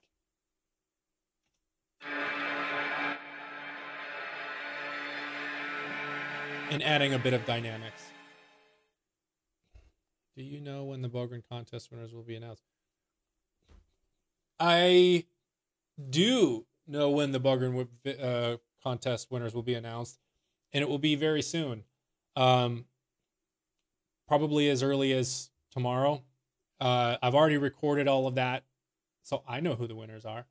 Uh, and it's been sent over to them, so they are getting ready to publish it. I would expect it to probably be launching tomorrow. So that was for the question for Maddie G. I see in the comments. Uh, and so that is the channel strip. So that's basically how I process that one. Um, and oh, Vinny says today. Launching it. Okay, so it's not tomorrow. It's today. Oh, today is today is Friday. My my week is totally screwed up. So it's launched. You'll find out who the winners are today. So ignore what I said. I found that the synths and post production tracks were the only ones that needed to be turned down. Everything else only required a little gain staging. Yeah, Jyotish, I, I totally agree. Um, and as you'll see, a lot of these I've turned down a ton, and I've also pulled back a lot of the top end. Um, and because we're now actually already over the two hour mark, which I said was going to be kind of the length of the video, and we haven't done vocals or the top end, I'm going to quickly run through uh, the settings I use on these other ones, which is going to be very similar. Um, so again, these are all Opus, except for the ones that are Kontakt, and I'll show that. So we're just doing some filtering on that one. A little bit of saturation just to kind of smooth things out with some warm tape. And then the channel strip, which is probably going to be pulling back. Oh no, it's boosting the level here. So this one must have been just low coming out of Opus. So let's see what this one is.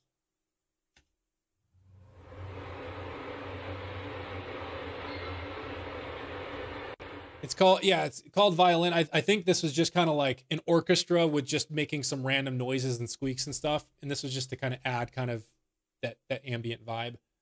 Uh, so that's that one. And we've got a drone. Let's see what's where's this one right here.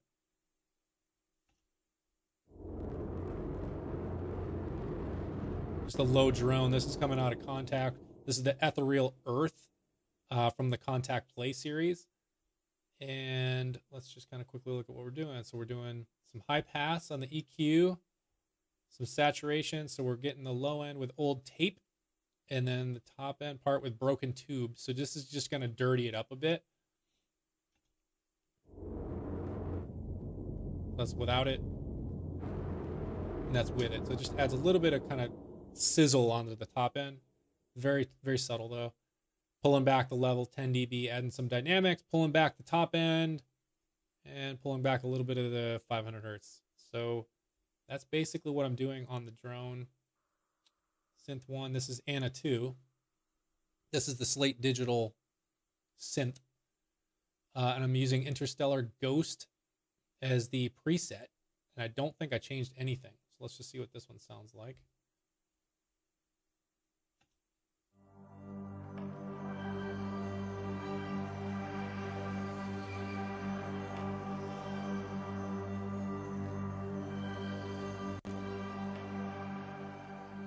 So that's that one. Uh, and then you can see the EQ I'm doing here, not much, just pulling back a little bit of around 500 hertz, doing some filtering, 60 hertz, pulling back some of the top end, adding a little bit of the SSL compression, pulling it back the input by 10, 10 dB and the output by 10 dB. And I do have a synth verb here, which is the Valhalla Supermassive. And before this, before anything goes into Val- Supermassive, uh, you can see I've got these filters applied at 118 hertz and 4500 kilohertz because um, I don't want any of the super highs or super lows going into the reverb.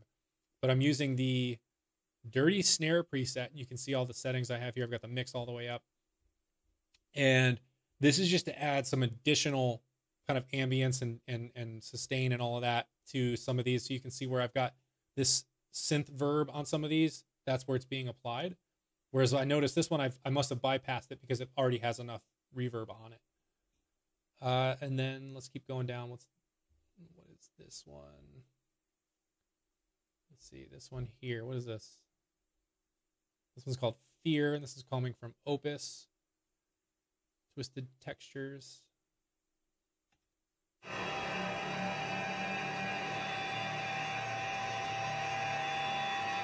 Okay. And then so Pro Q3, you can see we're just doing some filtering here. Soothe because this got real harsh in the up in the top end here. Just soothe it. You can really hear how some of those I don't know what the sound is, but it's really kind of piercing the sound. So soothe really helps with that. Uh, let's see some EQ, not a lot happening, some filters and some some dynamics. That's basically it on that one. And then I think this is the last one. Let's see what this sounds like. This is another ANA 2. Slate Digital. Let's see, this is the Driven FM preset.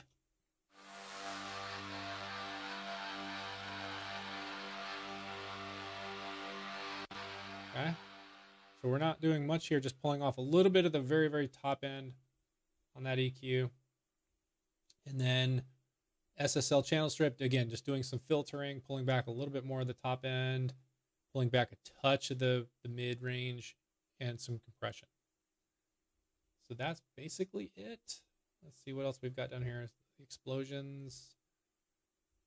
Yeah, so these are going to come from ANA 2 as well. It has these really nice uh, explosion sound effects. So this is the noised long tube is what it's called. So soloing it. Just kind of got this nice transient smack and just this long decay on it. Uh, let's see, pulling back some of the low end. Drum strip. Okay, so this is just to get transient shaper to really even bring out some more of the transient. Add some low frequency, high frequency uh, saturation, and the listen mic compressor. So let's see the difference without it. And then with it. Yeah, so it really kind of helps that smack come through. And then the channel strip. And I'm not doing anything on the EQ, just some filters and some dynamics. And just keep trucking. All right, so there's another explosion over here. Let's see what this one sounds like. Okay, this one sounds more like a traditional explosion, kind of a boom. Let's see what the preset is in ANA 2 here.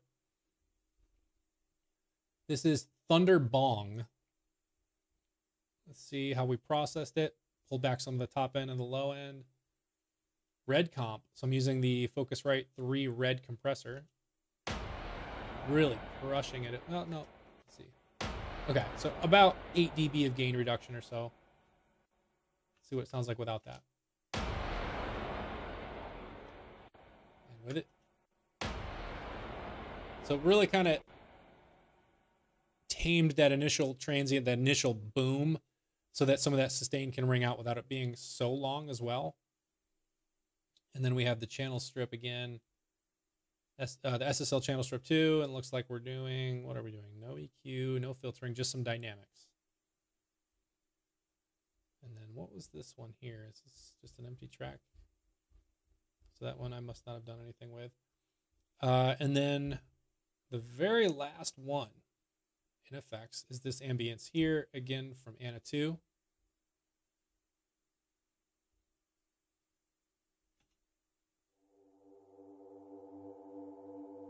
And this one is really low. Very, very low. Let's see. So just pulling off some of the low end. Channel strip two. Just a touch of EQ, pulling back some low end, pulling back some top end. Using some of these filters to get rid of the top end and low end. No dynamics, just pulling back the input and the output to level things off where I wanted it. This is all going into the synth verb. So that's basically it for the effects. So I'm gonna I'm gonna just continue on to the vocals. If you have any, oh sorry, I didn't do the bus. Let's run through the bus real quick.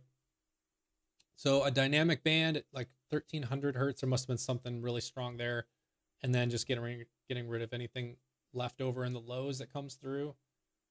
The Magnum.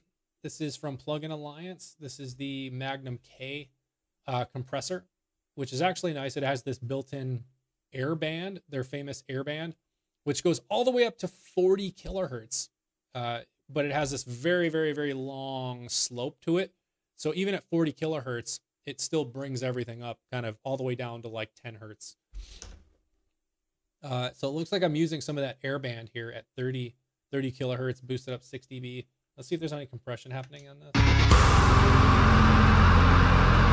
Yeah, you can see the, the, the gain reduction down here. Uh, and it looks like it was peaking at around negative 5 dB. So we're doing a little bit of compression on this, as well as adding some airband. So without it,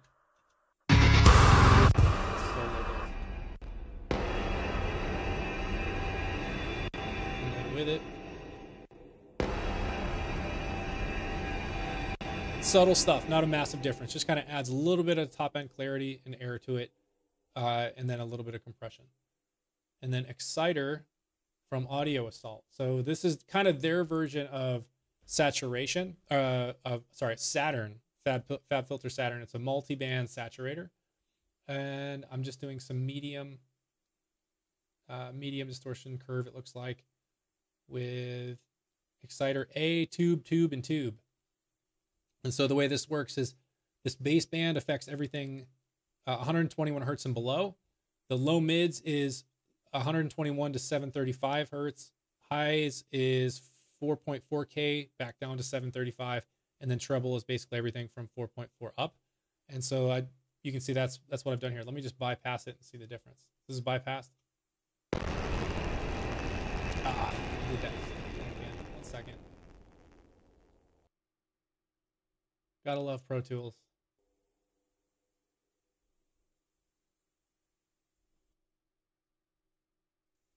We should be good now. All right, so this is bypassed. Right, and now with it. Yeah, I really like the way like this Exciter A, uh, and especially like this low mids kind of it really kind of helped bring those out, um, and and just kind of bring some of that low end ambience up. So that's the synths. So I'm going to keep trucking so this doesn't turn into a four hour video. And we're going to look at vocals. I'm going to take a drink, drink of water real quick. Y'all let me know if you have any questions about anything so far.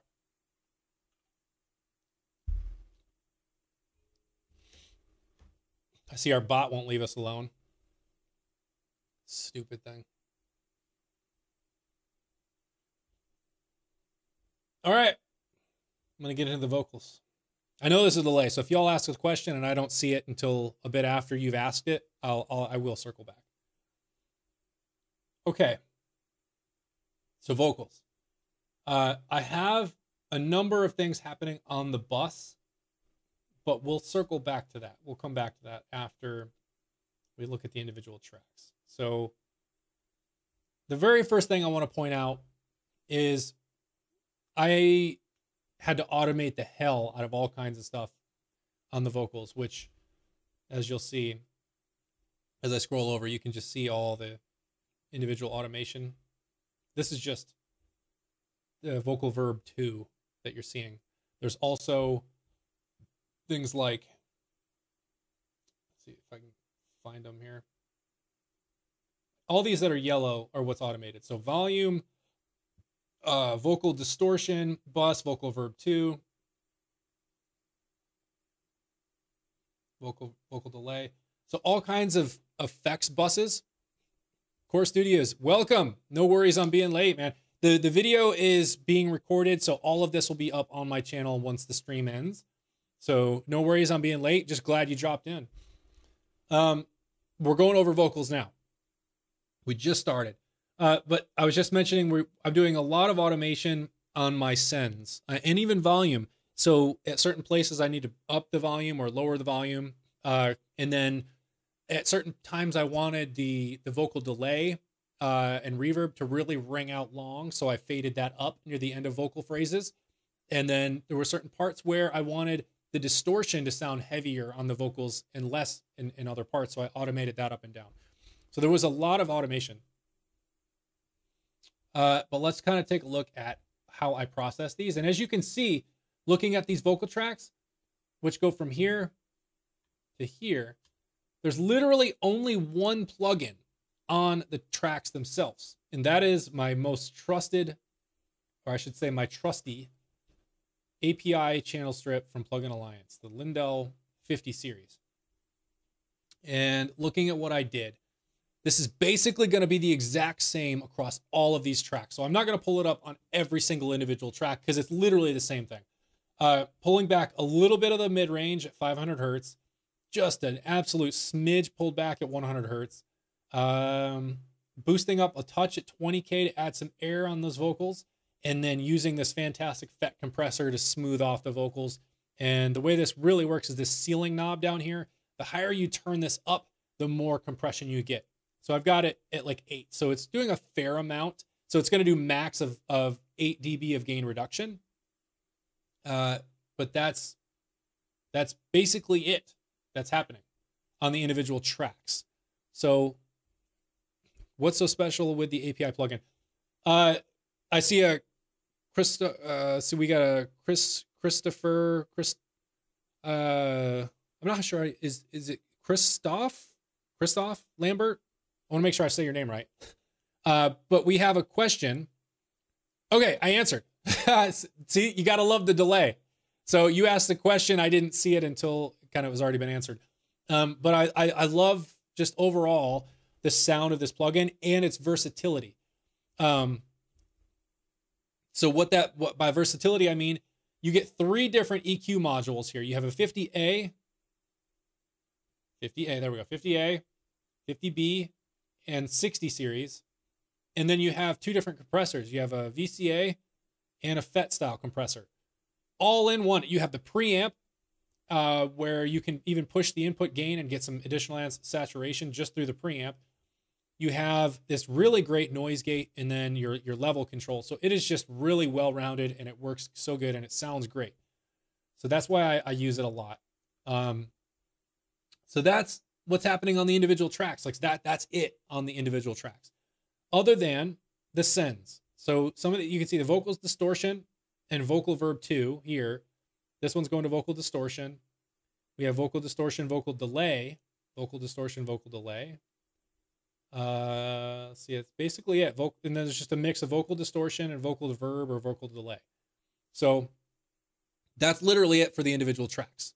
So if we move up to the to those auxes, the buses that I'm sending these individual tracks to, we have four of them. There's vocal verb, vocal verb two, Vox distortion and vocal delay. So looking at the first one, we have some EQ just to make sure we're getting rid of the lows and the high end before it goes into the reverb. We don't want those in the reverb. And then here we're just using the the CLA A plate. Basically straight up just this CLA AL2 Vox Verb. Looks like I did change some stuff, which is probably the EQ. Uh, but that's just the Slate Digital Verb Suite Classics reverb on ver- a vocal verb 1, vocal verb 2, which is where which is what's giving me the long like the very long decay reverb, which uh, again, here we have the pre EQ before it goes into the reverb because we don't want those subby lows or super highs. But this is the fantastic Valhalla Supermassive, which is free. If you don't own this, go download it immediately after this live stream because it is so versatile. It does so many different sounds and it sounds so damn good and it's free. But this is what's giving me that long decay. And I'm using a hold a chord preset and I've adjusted some, some things to my liking here.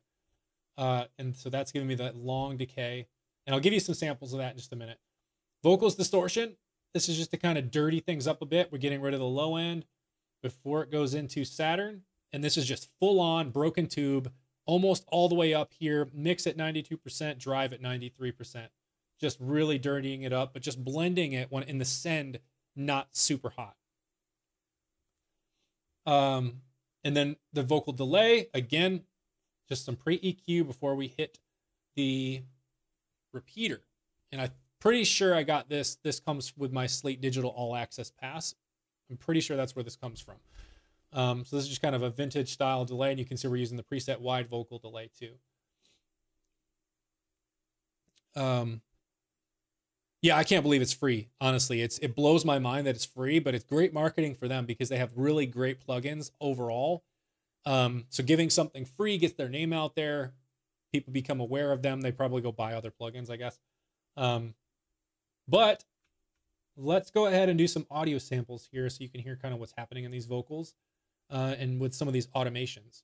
So like right here, for example, we've got some stuff where I'm boosting up the level of the vocal verb 2, which is with Vo- uh, Valhalla Supermassive. So this is going to be a long delay. So let's have a listen to what this sounds like where this automates up. Let's solo this one and solo this one.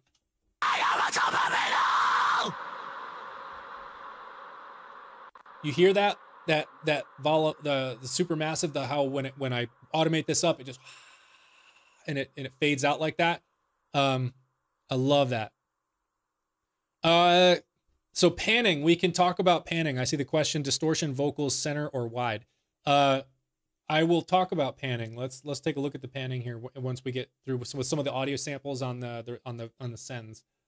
Um, so this one here, it looks like I've actually brought up the level on on Supermassive throughout the whole thing. Let's see what it sounds like.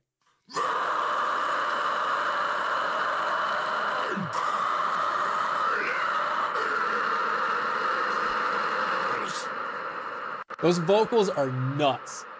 The dude who who tracked this for me, and I see our lovely bot is back. Report that thing, please. Um, uh, the dude who tracked this, his name is Billy Douglas. Uh, he lives in the UK somewhere, I believe. Um, but I, I, hired him for these because I've I've heard of his, some of some of his other stuff on on a Facebook group. Loved his vocals, and he just absolutely destroyed these. It's so sick. But what I wanted here was that just the kind of the ambience of that Valhalla Supermassive. So I just left it on throughout this whole part. Let's see if we can find some other examples of this ringing out here. Looks like there's one here. Let's see what this one sounds like. Yeah. So you can hear how that rings off. Um, and you can also hear the vocals distortion. So like an example of what the distortion sounds like. So I'm going to turn off this vocal distortion send, and this is what it sounds like without it.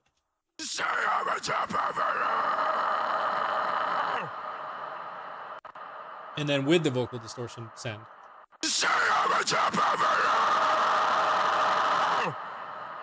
I mean, you can hear it just really dirties things up, which again was kind of the theme of this whole song, just dirty and raw and gross. Um, all right, so that's basically an example of how I use those sends. So now we can talk about the panning. So let's just kind of start right at the beginning. And I'm going to just solo the vocals. So we can just listen in to the vocals. This is what it's like looking into a broken mirror. The person on the other side. Don't So looking at panning, these dubs up here, these ones I've got panned like 38 left, 38 right. So if we solo just these two, actually that one's solo. Okay. This is what it's like.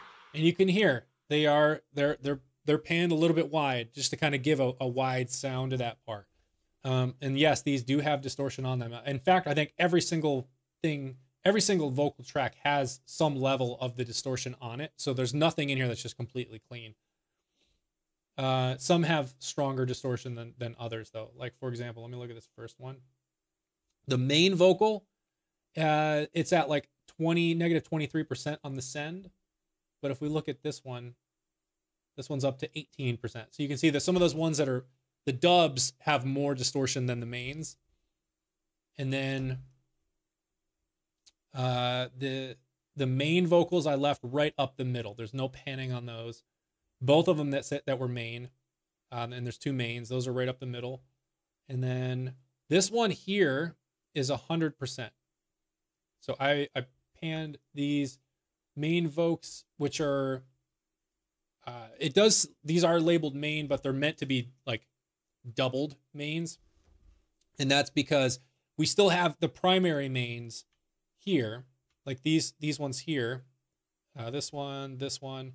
These are my, my cursor's being wicked slow. So like this one and this one are our primary mains. But when we got to this part where it's labeled as the chorus, I wanted things to just go wide, sound big and huge and wide. Um, and that's where these one, these two here go super wide.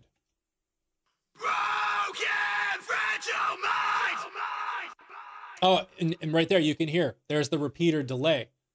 So you can see we've got the vocal delay in here going at 100%. So this just kind of helps that that tail end kind of uh, on the beat kind of fade off.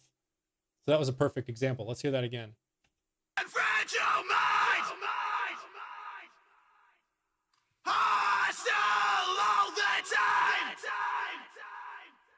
Yep.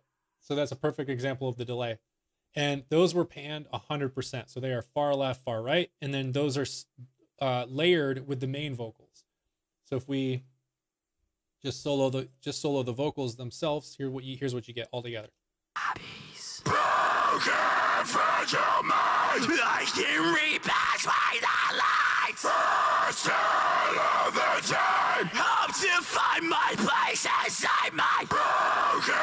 Yep. So there, there you go. That's where I, in the chorus I wanted things to go big and wide.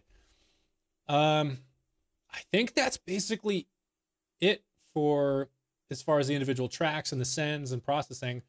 Um, looking at the bus, this has quite a bit happening here. So starting with Pro Q3, we're just doing a high pass. We don't need any of that low stuff on our vocals. We're using the Slate EOS uh, Eiosis E2 de-esser. So this is how I'm de-essing the vocals. To only keep where the audio signal is. Um, yeah. So Christoph, the you're saying I cleaned up the vo- the vocal tracks to just keep where the vocals are and get got rid of the other like the empty space. Yes, I uh, I, I will always trim off any empty space. Um, and in fact, every DAW has key commands to help you do that. I forget what it is uh, in Pro Tools. Um, and I'm trying to remember what it is in Logic. Geothis, if, if you're here, you're the key command master. Uh, I believe it's something like Control Z or con- Command Z or Command X or something like that when you select a track, and it brings up a window, and you can select the the dB like the level that you want it to cut off. So if anything below that level, it'll cut off, and you can adjust it, and it gives you the visual of what it's going to cut off. And you just hit OK, and it just gets rid of all that empty space. Um, but yeah, that's always something I'll do.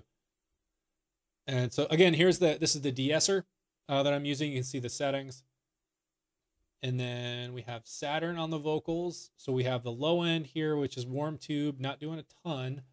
41% on the on the saturation, 31% blended. Adding a little bit more warm tube on the top end. And then the Maag EQ, this is kind of like, th- this is, if I'm going to mix vocals, this is going to go on my bus, guaranteed. Uh, because, first of all, this airband is an absolute must. You can see I've got it on the 40 kilohertz and I've got it boosted up seven and a half uh, dB. And this is just because, again, it has that very long taper and it just lifts everything up beautifully. Uh, and I'm boosting at 2.5, pulling back about 3 dB at 650, pulling back 160, about a half a dB, pulling back 40 hertz, and then the sub stuff, pulling that down. Just a fantastic EQ on vocals. And again, for anyone who's unaware, this is uh, the Maag EQ4 from Plugin Alliance. And then the only Waves plugin I have to date, because I don't like the update program that they have, but um, this is this is a plugin I felt like I needed, so I, I went ahead and got it. Um, it's called Vocal Rider, and it's a sort it's it's a sort of a um yeah okay. So again the, the delay I, am just seeing your your comment now Geothis but uh strip silence is control X. So I was close. Thank you. Um so again vocal rider this is sort of like a a compressor. Um you can think of this like in the old, old like back in the 60s 70s or whatever um, before they had really great compressor hardware, what they there was actual engineers sitting on a desk where, where, where certain parts they wanted to be up or, or low, you'd have your fingers on those faders, and just as the band was playing and tracking, you'd be moving faders up or pulling them back as the dynamics change. This sort of mimics that. Um, and you can use either a slow mode or a fast mode. You can think of that as like a slow attack or fast attack. Um, and same thing with a release. Uh, and then you set your thresholds and then set a, a level up here, like where you want the, the, the, this thing to kind of react at. And you'll see that as I start playing it back, you'll see the level start fading in um, for the audio. And then this will increase or pull back dependent on the audio signal. So again, it's similar to like an expander and a compressor in one.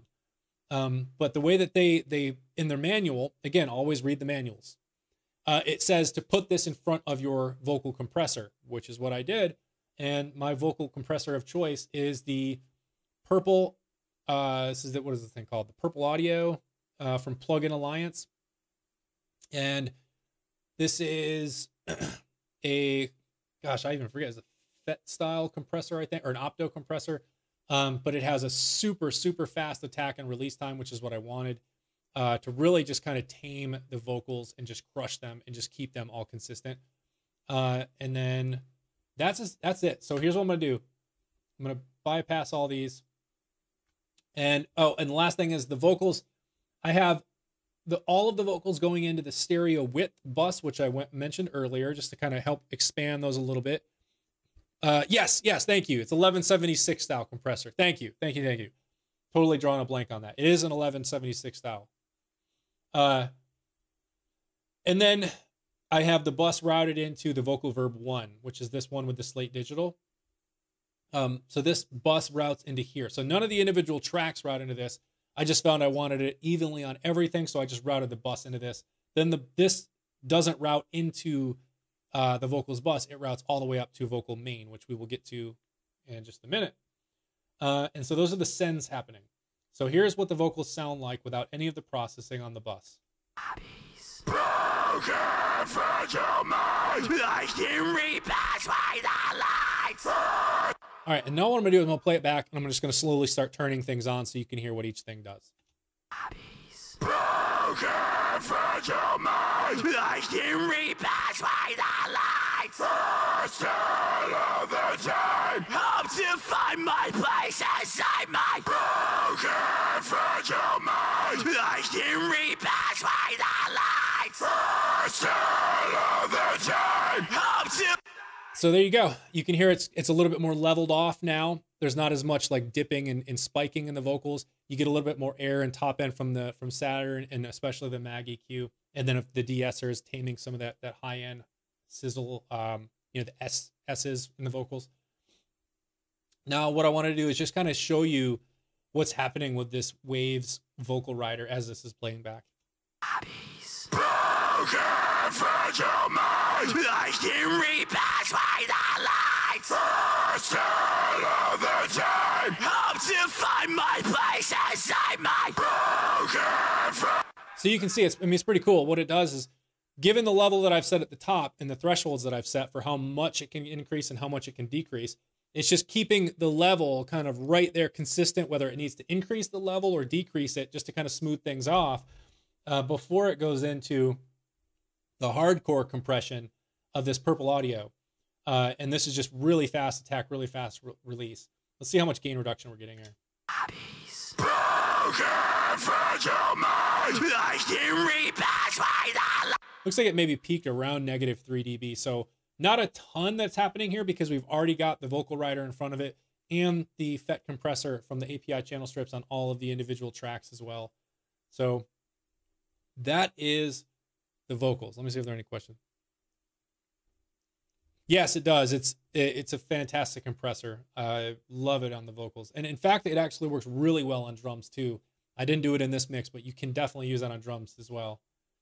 All right, so that's all of the individual tracks, all of the individual buses. The last thing is the the main bus, instrument bus, effects, vocals, and that's it. That's that's it. So I'm gonna take a sip of water, see if there's any questions.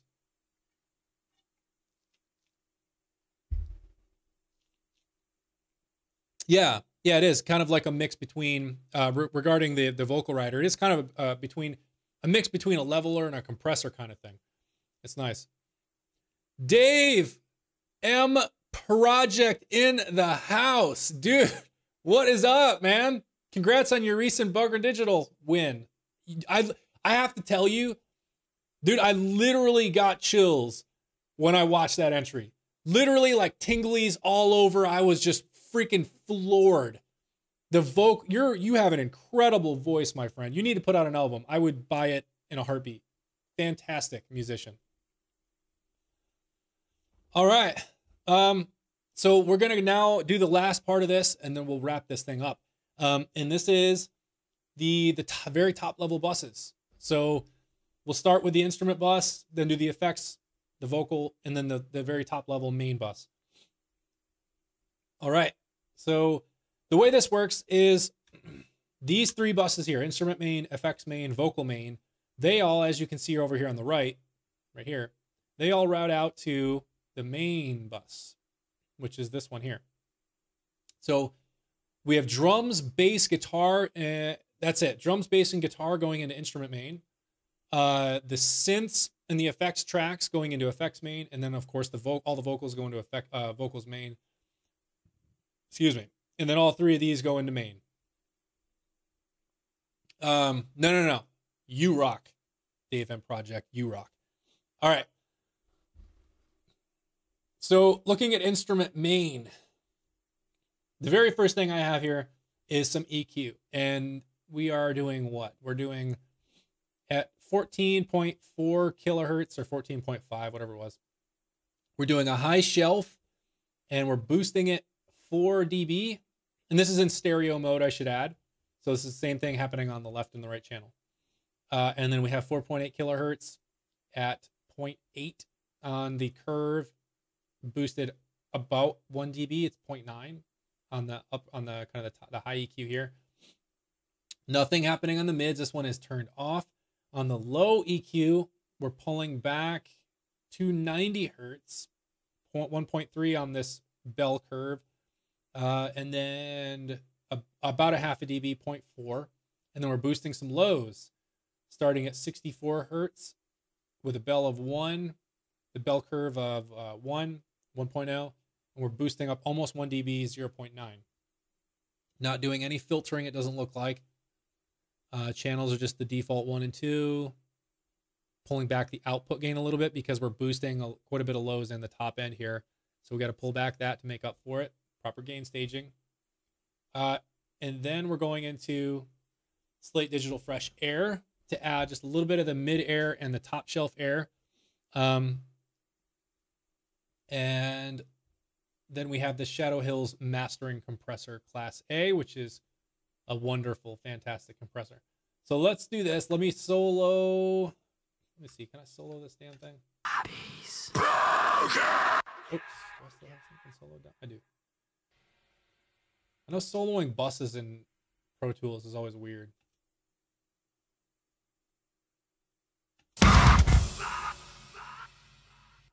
Stupid. Like why why does that not work? I've always had issues with this. It's so much easier to do Logic. I hate it. All right, let me see. Nope. Okay. So I'm gonna have to do it the old-fashioned way. Let me just solo my drums, bass, and guitar because that's the only thing going into this anyway. All right. So now I'm gonna bypass all of these in the instrument main, and I'll turn them on one at a time, and I'll turn them on it so you can see which one I'm doing. So this is the Amec EQ. Let me get to a better part here where you can hear it. Uh, it's like over here.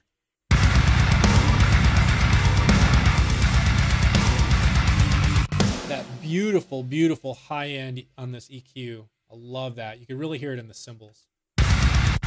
Here's here it is bypassed.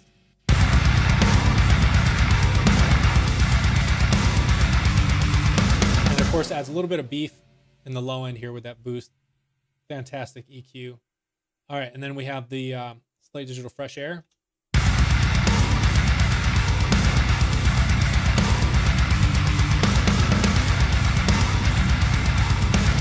Again, adding nice, beautiful top end air to this, to the instrument uh, instrument bus, without it sounding harsh. It sounds so smooth, beautiful. And then the last thing to control those strong transients and, and hits from the snare that are purposely mixed louder so that it ducks the compressor here on this instrument bus. We have the Shadow Hills Mastering Compressor Class A. So let's have a listen to this. And and and pay attention to the the the snare drum, especially when I when I engage this.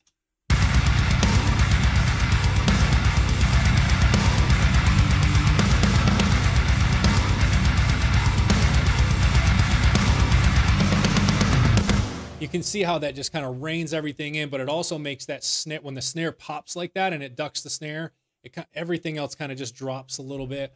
Uh, it sounds really good. So you can see the settings I've got here. Um, I'm not gonna read them all because there's a ton, but if you have the if you have this, you can you can just kind of take a look at how I'm mixing this. Again, please don't ever mix by taking screenshots and just matching settings. It's not how we mix. You can see what I'm doing with the mix that I've dialed in um, and use that as like a reference, potentially a starting point, but just know you're never going to be able to just copy settings and have it work for your own stuff. Uh, so that's the instrument main. Let me unsolo these. Now it's the effects main. And you know what? It's probably an easier way I can do this. I can probably just mute the other ones I don't want. Okay. So effects main, we're doing Similar EQ, just adding some top end air, it looks like. Same thing, fresh air. And on this one, we're doing the, the BX uh, Townhouse bus compressor, again, from Plugin Alliance. So let's go ahead and bypass these and just have a listen to what happens when we enable them.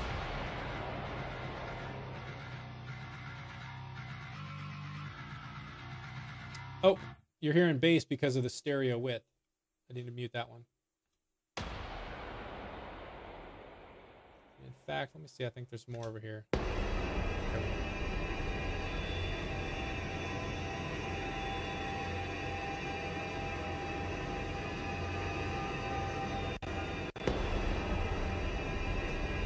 Not a not a whole lot that's being really done on this.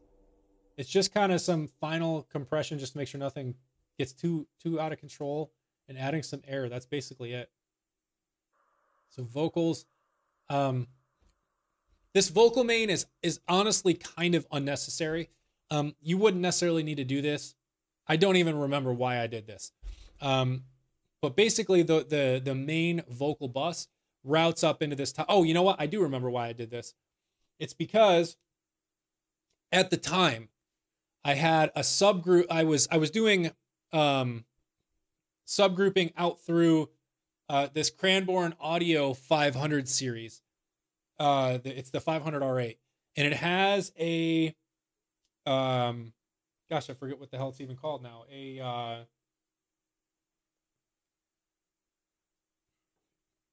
a mixer in it, so where you can you can route out uh, because this is a it has use USB interface in it, so I can route out individual digital tracks to subgroups in the in the hardware in the analog hardware. Uh, analog summing, Jesus, that's what it is. it has a summing mixer in it, uh, so where I can route out and route like the the instruments, the effects, and the vocals to individual analog subgroups in this uh, summing mixer. Have it have them analog analog summed instead of digitally summed, analog summed into one mixing channel that then comes back into the DAW. Um, I since have undid that because I've changed a bunch of stuff in this uh, in this rack, so I can't really do that right now. Um, but that's what I did at the time I mixed this. Is I had the instruments going out to uh, to an analog channel, effects going out to a separate analog channel, and effects voc main going out to another analog channel, anal- summing them in the analog space and sending them back into main where they all came back in together after they had been summed in the analog mixer. So that's why this exists. but here, the only thing I have is just a tiny bit of this BX Town, Townhouse bus compressor. Let's see if it's even doing anything. About 1 dB of gain reduction. Not much.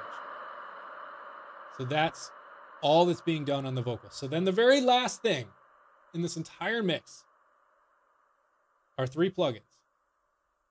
Virtual tape machine from Slate Digital. And I'm going to bypass that. SPL Iron from Plugin Alliance. I'm going to bypass that. And then Ozone Pro from iZotope, which is going to take forever to open. Okay, there we go. I'm going to bypass that one. So now here's what everything sounds like without the main bus, like the two buses, some people call it processing on the entire mix. I guess I need to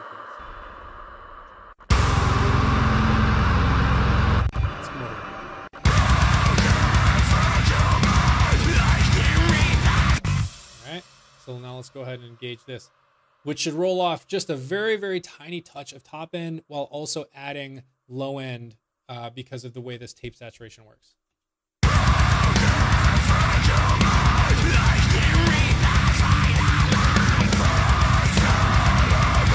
Yeah, I re- can really hear it. How, especially in the kick drum, it just becomes a little bit more beefy.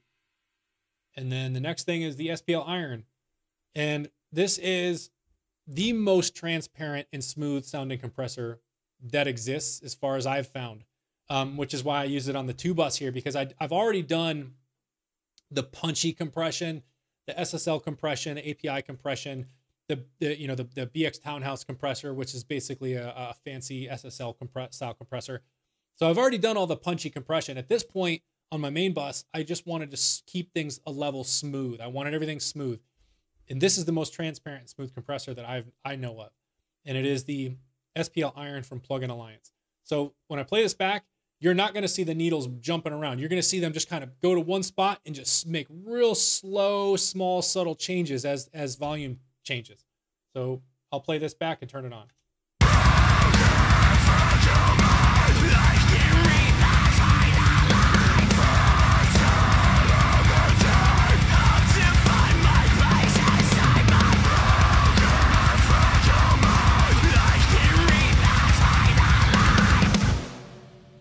All right. So that's it. And you really probably didn't even hear anything uh, because of how how transparent this is, and it's only doing you know maybe max of one dB gain reduction anyway. Very last thing. Ozone Pro. And before the next stream, I got to figure out how to get rid of these damn bots because it is driving me insane. All right, let me let's see if there's any questions. I was wondering why you mixed this on Pro Tools instead of on Logic. I'm guessing it was the routing options and yeah, Kontakt. So the reason I mixed this on Pro Tools instead of Logic was because at the time I was kind of a in a Pro Tools phase. I I've used Logic for many years, but it, uh, I had recently decided I'm going to go ahead and start learning Pro Tools. I had gotten a Pro Tools subscription, just went full on Pro Tools, um, and figured I would just use this, uh, use Pro Tools to mix the EP. That's what I did. Afterwards, I decided I'm going back to, to Logic. I just is it's a great DAW. It has a lot of great things in it. Some things I do miss for one, as simple as this is, uh, or as, as small as this is, one of the things that I really, really, really love about Pro Tools, and this is actually a fairly new feature, they haven't had this very long, is how you can nest buses in these folders like this. So it's it's kind of a, a routing folder is what it's called. And so how I have all my drums tucked away in this one routing folder, I can expand it. And then within this, I have another routing folder of my kick sum that I can expand and collapse like this. And it's just, I love this. Whereas in Logic, we have one layer of, and I forget what it's called. Geotis, if you're still on, you can probably answer this. Um, but there's there's like one layer of foldering that you can do to, to like collapse a, a, a bunch of tracks. Um, I forget what it's called. Uh, but you can't put those those individual folder things like inside of one another. It doesn't work that way. You only get one layer deep. So I still end up with tons of buses outside of that that I wish I could just hide away. It's a small thing. Um, yeah, summing and folder stacks. Thank you again. I knew you would have the answer. Um, so yeah, that's just one thing I really like about Pro Tools. Uh, but it's a small thing. I can live without it. But yeah, overall Logic is just just so much more stable for me. Uh, the last thing here is Ozone Pro on my main bus. Let's pull this out. Oh, clicked it too many times.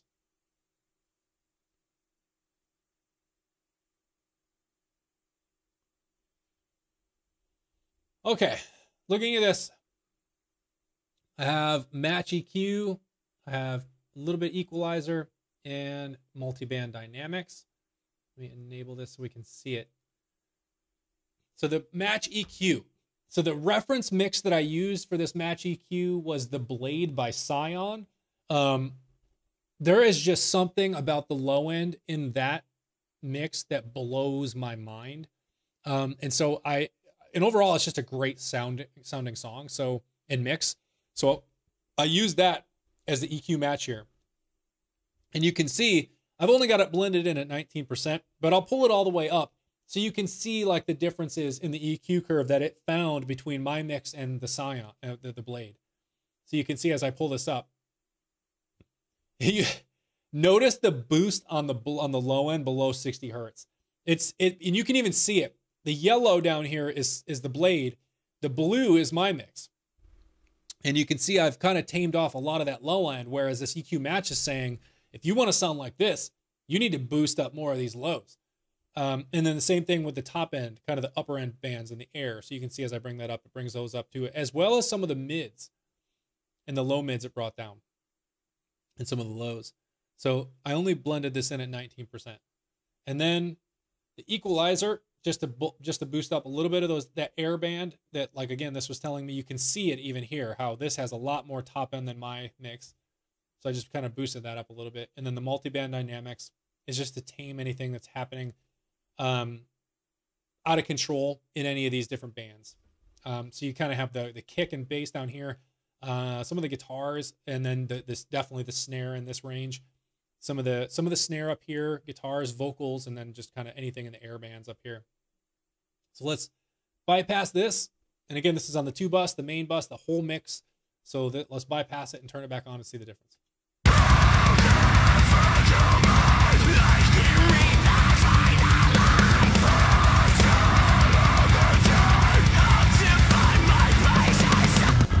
Not a massive difference. As I would expect with anything that's on my main bus, I don't I don't want if I if I'm making massive changes, like things that, that have a massive effect, on my two bus or the main bus, it's it's like I'm I'm doing something wrong. I need to go back into the mix and fix things down in the mix so that I don't have to make drastic changes on the on at the top like this. So it's a small thing, but it's it's just enough to kind of rein things in how I wanted. So that's it. That is that is the mix. That's everything. And my voice feels like it's gonna die now. I've been talking so much. My voice, I'm going to be talking like this tomorrow. It's going to be great. All right, I got some questions. Let's see. How long did it take you to mix this? How often do you take breaks? Uh Yuri, uh I think you know what I I now that I think about it, I think someone asked an earlier question. did I track in the same session that I'm mixing in? So to go back to answer that, yes. Um, this all this session started with almost nothing in it, and then I started with the drums, with the bass, um, and then uh, uh, started adding the guitar and tracking the guitar, and then the synths and the effects, post production stuff. And then after I got the vocals back, then I came back and actually mixed, like full on mixed it. Um, and then your question was, uh, where did it go? How long did it take me to mix this? Uh, gosh, I don't even remember. Again, it's been like it was like six months ago, but I would say it probably took me like just again after doing all the tracking, all the post production, everything, and I'm just in a mixing phase. I would say it probably took me a couple days. Um, and and that's like a couple days like worth of time, not as in I sat for two days straight and you know mixed. Um, it was probably two days worth of time over about a week, um, where I'm mixing a couple hours at a time because I find if I'm really, really trying to focus in on a mix, you're using your ears so hard. You're listening at louder volumes, at softer volumes, soloing guitar tracks, and all these things. It really burns out your ears real fast. And if you're trying to mix for more than a couple hours at a time, your your ears just get they get too fatigued, and you start hearing things differently. And that's why when you're mixing late at night eh, or dialing in guitar tones or whatever it may be late at night, and you're like, oh man, this sounds great. And then you get up and listen to it the next morning with fresh ears, and you're like, oh my God, this sounds terrible. What the hell was I thinking? That's because your ears are fatigued. And it is a real thing. So uh, I try not to mix for longer than maybe a couple hours at a time. And I'll probably take, you know, uh, an hour break minimum. Uh, or even just come back the next day and just just mix a couple hours a day because again this isn't just like my full-time job i do have other things that i do as well so um, maybe one day if this is my full-time job and i'm doing this all day you know eight hours a day plus i'll i will i will be more hardcore about like two hours on maybe 30 minutes off two hours on something like that but you got to take breaks it's so important uh let's see other questions old school scene with the tranquilizers oh yeah yeah the old school scene uh, you really gave me a love and appreciation for deathcore, dude. I love your album. Thank you again, Bebop Samurai. I love the name. Thank you, man. I I I couldn't ask for anything more than for people to to find joy, find, like like it, right? Like I, that's all I can ask for. I I I wrote the music and mixed it, and I was super super happy with it. And I I all I can ask for is that some other people, you know, find find it uh, enjoying or enjoyful as well. See, do you managed to mix several songs at the same time or ever? Oh yeah. Uh, so Christoph, uh, I I do you know like a, mixing is something I do regularly, and I have multiple clients I'm working with. Um, and while I was mixing this, you know, I'm mixing two other clients as well. Um, one of which recently came out was uh, Eternal Conflict. The song is called In Fire.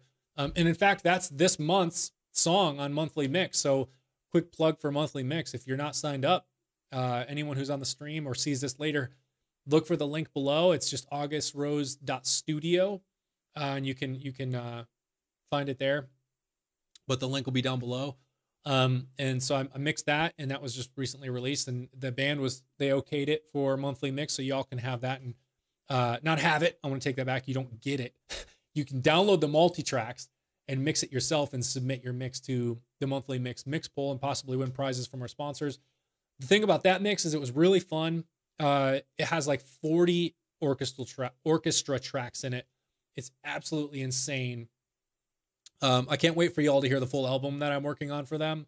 Uh, it's a concept album. So much orchestra. There's actually one at least one full song on there that's just orchestra and the composition is incredible i mean they, they should really be writing like movie soundtracks it's crazy um let's see what other we got songs or reference tracks are definitely a way to go yeah definitely um do you listen all the tracks when you mixing or you got the sounds while listening in solo pin prime's music was asking basically do I listen to everything all together or do I dial in sounds and mix with in solo? Um, I would say it's it's a good mix of both. When I'm kind of in the tone chasing phase, uh, which is very early on, uh, I will I'll definitely listen in solo, and that's whether it's bass or drums or guitars or whatever. Um, but when it comes to the point where I'm trying to get things to mesh all together and sound the sound the way that I hear it in my head, and so that they all sound good together. You can hear everything clearly, and there isn't all all sorts of um, uh, frequency masking happening where you've got multiple things eating up the same space. Uh, then I have to listen to everything in context. And I've said this, I've actually mentioned this many times in previous videos that in context is really, really important and really what matters because you can dial in the sickest guitar tone you've ever heard but it could sound like total trash when you put it in a mix because you've got your drums, your bass, your vocals, post post production stuff that's going to all stomp on it and and take up the same frequency space. So you have to you have to mix in context. Um, I hope that answers the question.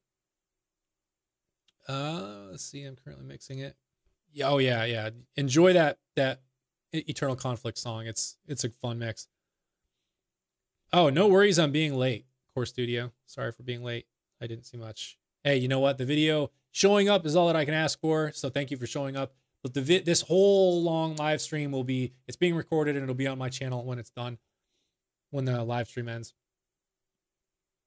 Do sometimes have lazy phases where you just mix everything bundled in a bus when the source allows it. Uh that's a great question a Bebop Samurai is asking basically, do you ever do anything kind of like quote lazy where uh if if say the source allows it, you could just mix everything in a bus versus like doing a bunch of stuff on the individual tracks, I believe is what he's asking. Um and the I do that. I mean, I kind of do that, and I kind of did that in this song, in fact, in the in the vocals. And in fact, you know what? Um just kind of looking at the vocals here again, you can see. So look at all the stuff I'm doing on the bus here. I'm doing some EQ, de-essing, saturation, EQ again, vocal rider, which is leveling, and then compression on the bus. And then you look at the individual tracks, and there's only one plugin, right? And there's not much happening on the EQ or anything there. So if you look at it, not much EQ, just a little bit of FET compression. That's it. So I kind of, kind of doing that there. And I just realized I could probably go back to just seeing me. Uh, how many total tracks in this session, Vincent Emerald? Uh, are, uh, in this session, Vincent, do you mean my session, uh, Broken Mirror, or are you talking about the one I was just talking about earlier with uh, about eternal conflict in fire? I'm gonna assume you mean my song. Um, I'm not actually sure how many tracks there were. Uh, it was last month on the monthly mix, so if you are signed up for monthly mix, you you'll have access to it. You can download it and see for yourself. I I want to say it's probably like 50 or 60 tracks, something like that. I'm guessing. I don't remember. Yuri, thanks so much for joining. Have a great weekend.